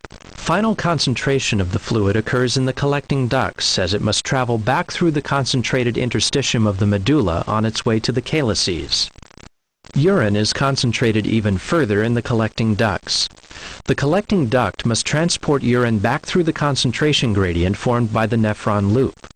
The walls of the collecting duct are permeable to water, but not to salt. Therefore, an increasing amount of water is drawn out by osmosis as the fluid travels through the gradient. The gradient provides the force for the concentration of urine, but the rate is determined by the amount of antidiuretic hormone, ADH, in the blood. An increase in ADH in the blood causes the collecting ducts to become more permeable to water. Less urine is secreted and it is more concentrated. A decrease in ADH results in a decrease in water removed, thus a larger volume of more dilute urine is excreted.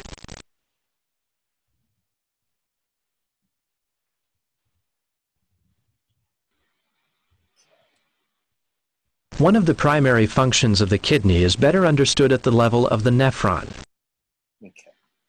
So, the take home lesson from that, all right? For those of you who haven't had A&P yet, one of the things that we do is talk about the urinary system and how it works and what the components are. For the purposes of this course, what you need to understand about the urinary system is that it it has to remove these toxic compounds from the blood, okay, most of which contain nitrogen, or else they'll build up around cells and tissues and they'll kill them, okay. It also controls your blood volume and your blood pressure and your body's pH, okay? And it sends out the command that controls how much blood you make, all right? So all of that is contained in the kidney. Um, the, the critical point being if you lose kidney function, you lose all of that control, okay? So you're gonna have problems with your, with your blood pressure and your blood volume, you're going to have problem with body pH, and you're going to build up toxins so quick that very rapidly you're you're going to end up dying. All right, and so when both your kidneys go out, we generally have to put you on something called dialysis. Okay, dialysis comes basically in two forms: hemodialysis and peritoneal dialysis. In hemodialysis, what we do is we run your blood through a machine that's about the size of an average refrigerator, and the blood is contained inside a membrane that is semi-permeable, meaning that some stuff can go in and some stuff can go out and other stuff can't. And what happens is that we dilute out the waste products that will kill you by a process called diffusion and osmosis. And then that blood is returned back to you. And that process takes between four and eight hours. You got to do about three times a week. And that lets you live about two days. Okay. So having no kidneys is a real stone drag. All right. Um, you can get by with just one kidney. Okay. You can, you can lose a kidney or donate a kidney and function perfectly fine. Um, Oscar Robertson, for instance, donated his kidney to his daughter, right? So she has three kidneys and he has one, and they're both a okay. Okay. Um, the the problem with reduced kidney function is that you don't want to have too much of a nitrogen load in the blood on the kidney because that makes it have to work super hard, and the result um, could be that you damage it even more, right? What hurts your kidney? Well, trauma, like a, like blunt force, okay? Infections in the kidney. How, how do you get your kidney infected? Well, usually it comes through the urinary tract. So the area where you pee, okay, is open to the outside world. And what can sometimes happen is bacteria can walk up that pipe, and that pipe connects to the kidney, and that can damage the kidney tissue, okay?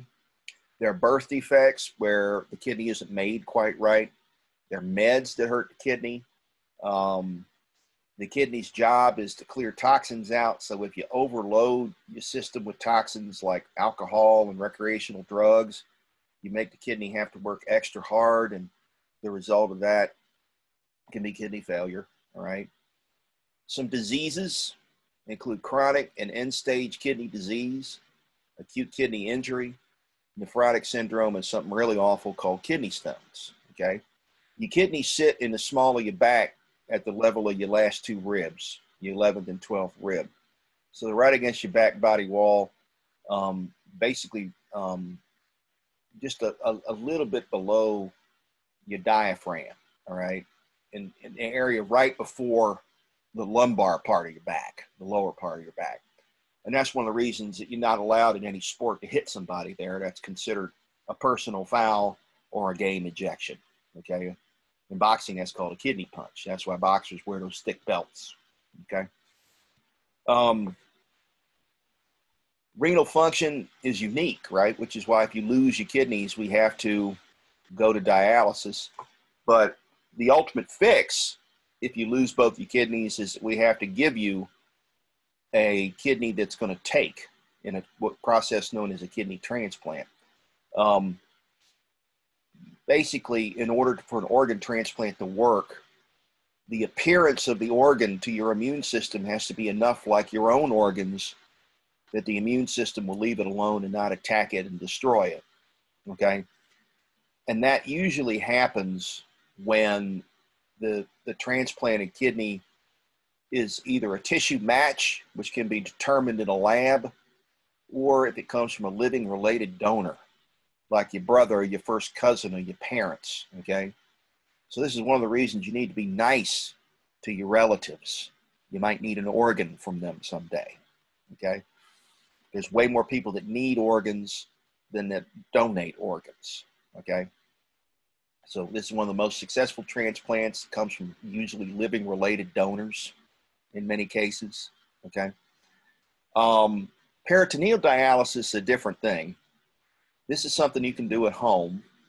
And what happens in peritoneal dialysis is they put a port in your abdomen and you fill the abdomen with dialysis fluid, which is the same fluid that's in a hemodialysis machine that removes the waste products from the blood by diffusion and osmosis. So what you do is you do a the patient's lying on the bed, the port's in them. You hook up the port to a bag, like kind of like an IV, okay, except it's it's an IP, right? It's going into the abdomen, You fill it up with the dialysis fluid, and then there's so many blood vessels in the membrane that lines that, known as the peritoneum. The diffusion takes care of removing the waste products that goes into the fluid in the abdomen, and then you can drain that fluid off, and then do another fill and drain, and then they're clean for two days. And the advantage of this is if the patient isn't going to travel very easily, okay, they, they tend to be, be isolated in their home. You can do this at home. You can be trained to do this, okay, and um, you don't have to, you know, get in a vehicle and go to a dialysis center and sit in that chair for long periods of time, okay. Um, continuous ambulatory peritoneal dialysis is basically where you're doing the same thing, but you're standing up and the bag is on a wheeler, right? And you just kind of walk around with it hooked to you, okay? So this would just be the moving version of what peritoneal is, which is you lying down, okay? But the ultimate fix is, of course, a transplant, right? So how do we deal with this? You got to check your weight. You got to check your fluid intake and output okay, and check constipation. You also got to check blood pressure, okay. Why are the dietary changes needed? Because the kidney's job is to take care of your fluid and your electrolyte balance. And when you're missing a kidney or missing all your kidneys, okay, or you got reduced kidney function, all of that's going to suffer. You're going to have a tough time taking care of nitrogenous waste, the ammonia and the urea I was talking about earlier, um, and have a tough time controlling your electrolyte levels and your fluid levels. Okay. You want to explain not only to the client, but to their family members why this is critical. Okay. Chronic kidney disease is basically a long lasting reduction in kidney function. Can be caused by um, a lot of different um, contributing factors. Okay. In stage one, you're at risk. Stage two is mild disease. Stage three, moderate disease. Stage four, severe disease. And then stage five is end stage kidney disease.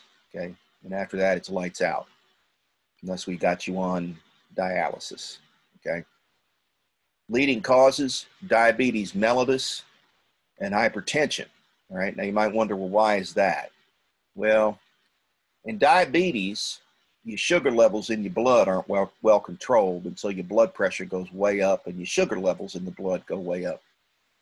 And that causes a load on the kidney because the kidney has to work against higher pressure and that damages those little filtration units called the nephron.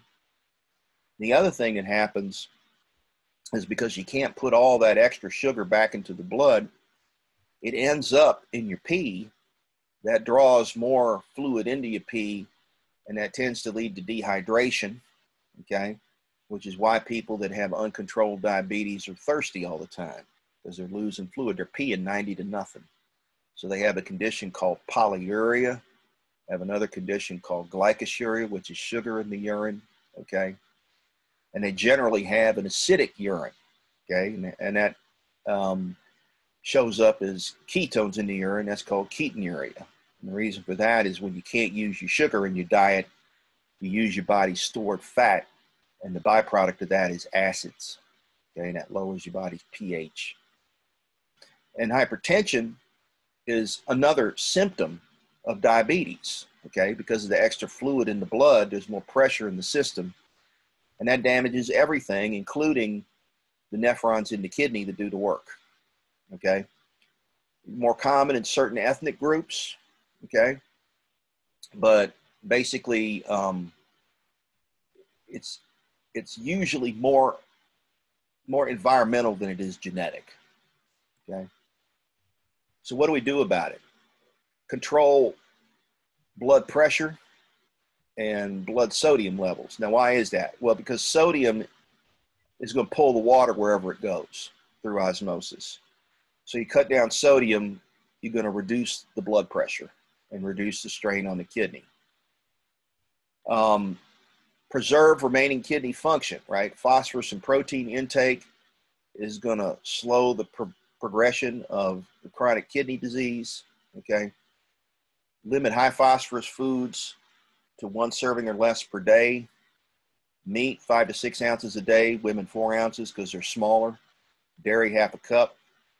Too little protein is going to result in the breakdown of body protein. Okay, so you get that wasting condition. Um, again, one of the kidney's jobs is to control where the electrolytes go. Electrolytes include sodium, calcium, potassium, phosphorus, and so on. Okay. Um, we want to restrict potassium to prevent something called hyperkalemia. Okay. Not only does that screw up your electrolyte levels, but it can throw off the pH balance of the body, and that can be lethal in extreme circumstances. End stage kidney disease, okay, means that you're basically waiting on a kidney. You're on dialysis every week, okay? What do we want to do for the patient?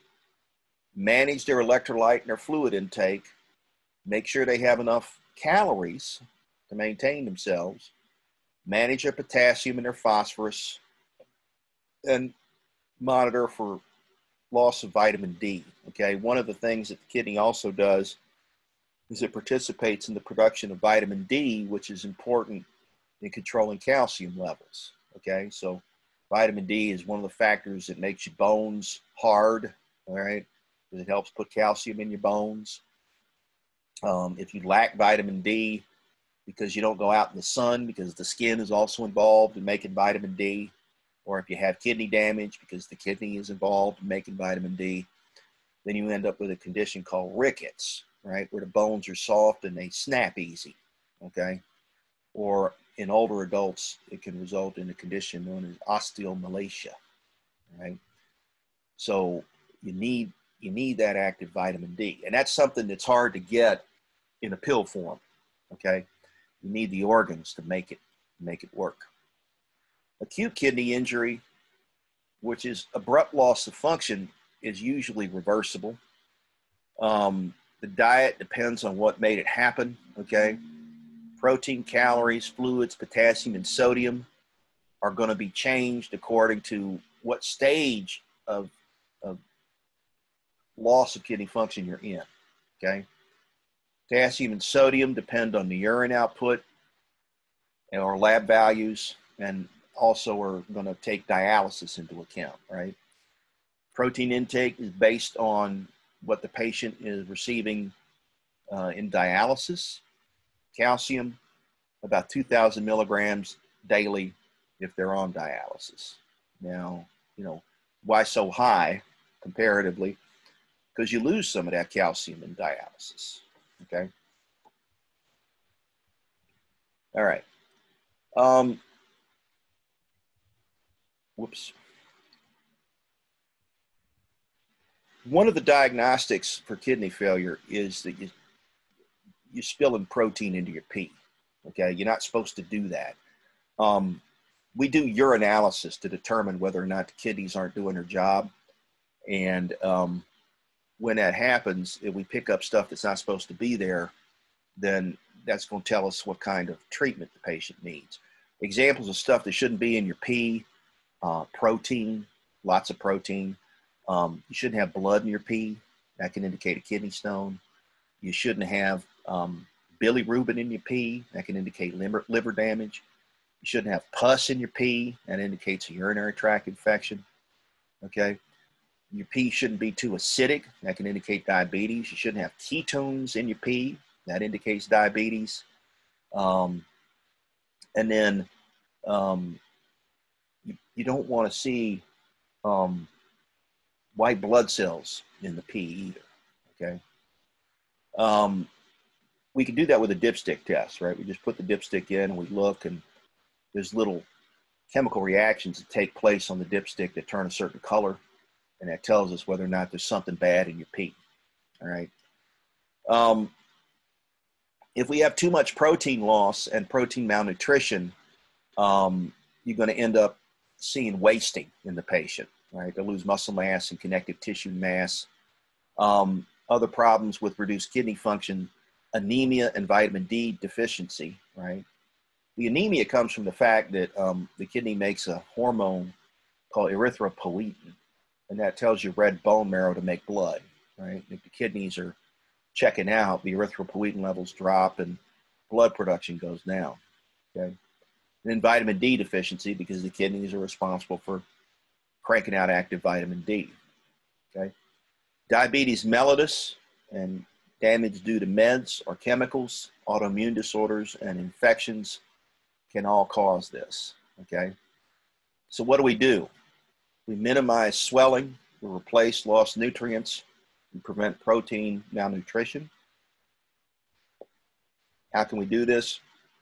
Soy based protein, carbs are the majority of the calories. And again, that's just to make it easier to produce the energy and to take the load off the kidneys by reducing the nitrogen intake. Okay. Limit trans fats and cholesterol. Total fat should be over 30% of the daily diet. And then vitamins to replace the vitamins that get lost with protein excretion. So um, the kidneys eliminate breakdown products of vitamins, but they also um, eliminate all water soluble vitamins that are taken in excess. Right. That's one of the reasons you should never megadose on like vitamin B or vitamin C, because all the all you'll do is end up peeing them out. All right. Um, but if you're having excess loss of vitamins, right, you need to replace what you're peeing out in order for those processes that keep you alive to continue to work. Okay. All right. Um, next topic is kidney stones. So let's let's look at what a, a kidney stone is all about.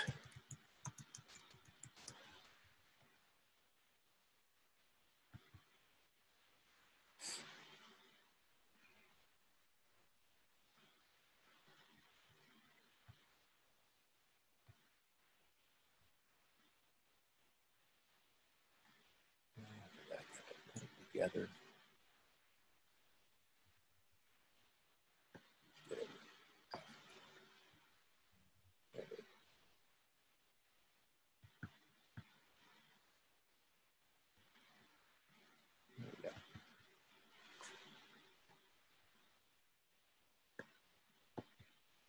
Kidney stones, also called nephroliths, are deposits of mineral salts, called calculi, in the kidney. These stones can pass into the ureter, irritate kidney tissue, and block urine flow. Kidney stones are one of the most common and painful disorders of the urinary tract. Approximately 10% of people in the United States will have a kidney stone at some point in their lives. A person with a family history of kidney stones may be more likely to develop stones. Most frequently, the cause of kidney stones is hypercalciuria, where calcium is absorbed from food in excess and is lost into the urine.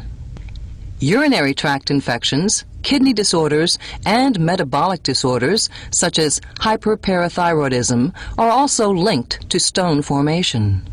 Most kidney stones pass out of the body without any intervention by a physician.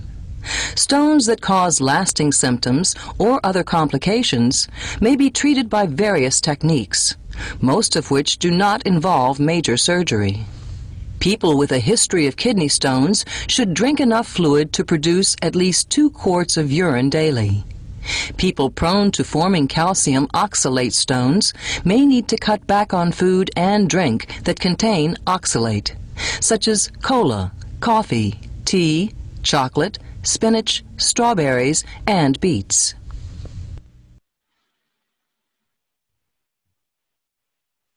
One of the primary functions of the kidney is better understood at the level. Okay, so this is something I have personal experience with. These are little crystals that form in your urinary tract, and they can lodge in the ureter, which is the pipe that connects your kidney to your bladder. They can lodge in the hollow area of the kidney where urine first collects, which is called the renal sinus. Okay.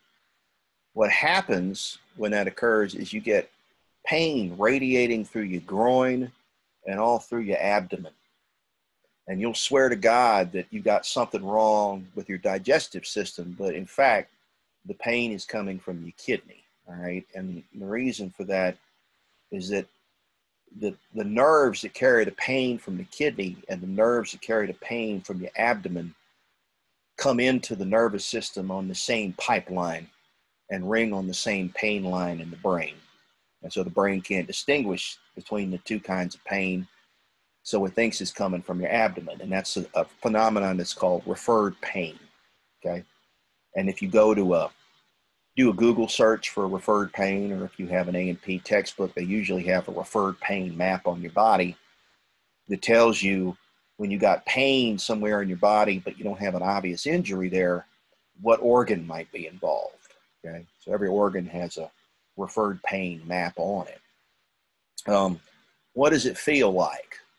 Well, it feels like a combination of severe constipation while you're being kicked in the crotch. Now, being kicked in the crotch if you're a guy.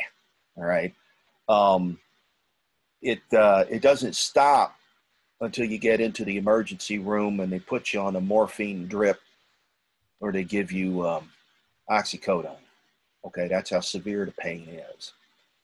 The diagnostic for this is hematuria, which is blood in your pee. And the reason for that is that the stones are sharp. And as they walk down the ureter, they cut it and the, and the ureter bleeds. And that ends up in your pee. So to get the stone out, what you can do is a, a treatment called lithotripsy, where they smash the stone with sound waves. Um, but generally, what they'll tell you to do is drink a lot of water. And the idea there is that the extra fluid will dilate the ureter so that the stone can pass. And once it's in your bladder and your urethra, which is the pipe that connects your bladder to the outside, then the, the pressure buildup goes away. And you can pee the stone out into a strainer, and then you take it to your doctor, and then they check the chemical composition of it and they determine what kind of a stone it is. So it'd be that either a calcium stone or oxalate stone, or in some cases, a calcium oxalate stone. Okay. And then they'll make the dietary recommendation based on that. Okay. Unfortunately, if you've ever had a kidney stone, you're more likely to get another one. All right. Um, and they're, they're, for a guy, um, the pain is supposed to be comparable to a woman giving birth without anesthesia. All right, so that's how much it hurts. Um, so, what makes this happen? Well, you might have a, a, hormone imbalance. There's hormones, for instance, that control your calcium levels, like parathyroid hormone, which is made by a gland up in your neck near a gland called the thyroid. Okay, you might not be taking in enough fluid or you might be taking in too much diuretic, okay? If you're not taking in very much fluid, then the calcium tends to form those little crystals because calcium salts are not very easy to dissolve in water, right? Um, the, um, the use of a diuretic like caffeine or alcohol makes you lose more fluid than you take in and that can have the effect, same effect as dehydration would have. Okay, a high urine pH, too much excretion through the kidneys of oxalate, calcium, and uric acid, all can contribute. Okay, stone formation is going to be influenced by the amount of oxalate and more in the body than the calcium. So, where do you get oxalate from? Uh, there are some green vegetables that have a lot of oxalate in them, like spinach and kale. Okay, um, chocolates can have a lot of oxalate in them. Okay.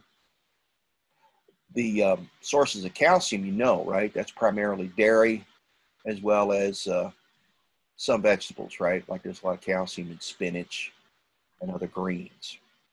You want to limit the intake of animal protein, sodium, calcium, and food with oxalates, including things like spinach, rhubarb, beets, bran flakes, nuts, potato chips, tea and chocolate. Okay. Therapeutic nutrition, jack up the fluid intake, right? That's to dilate the ureter, but also to help dissolve the stone. Okay. Limit foods that contain oxalate, reduce potassium levels that can contribute to the formation of the stone, avoid high vitamin C doses, which increase the amount of oxalate that you pee out and use preventative measures such as limiting foods high in purines, which are what? Red meat, organ meat, as well as whole grains and legumes. Now you might wonder, well, what are legumes? Beans and peas. Okay. So there's bet there's definitely a dietary component to this, but there's also a behavior component. Okay. Um, these stones are are bad news. Um,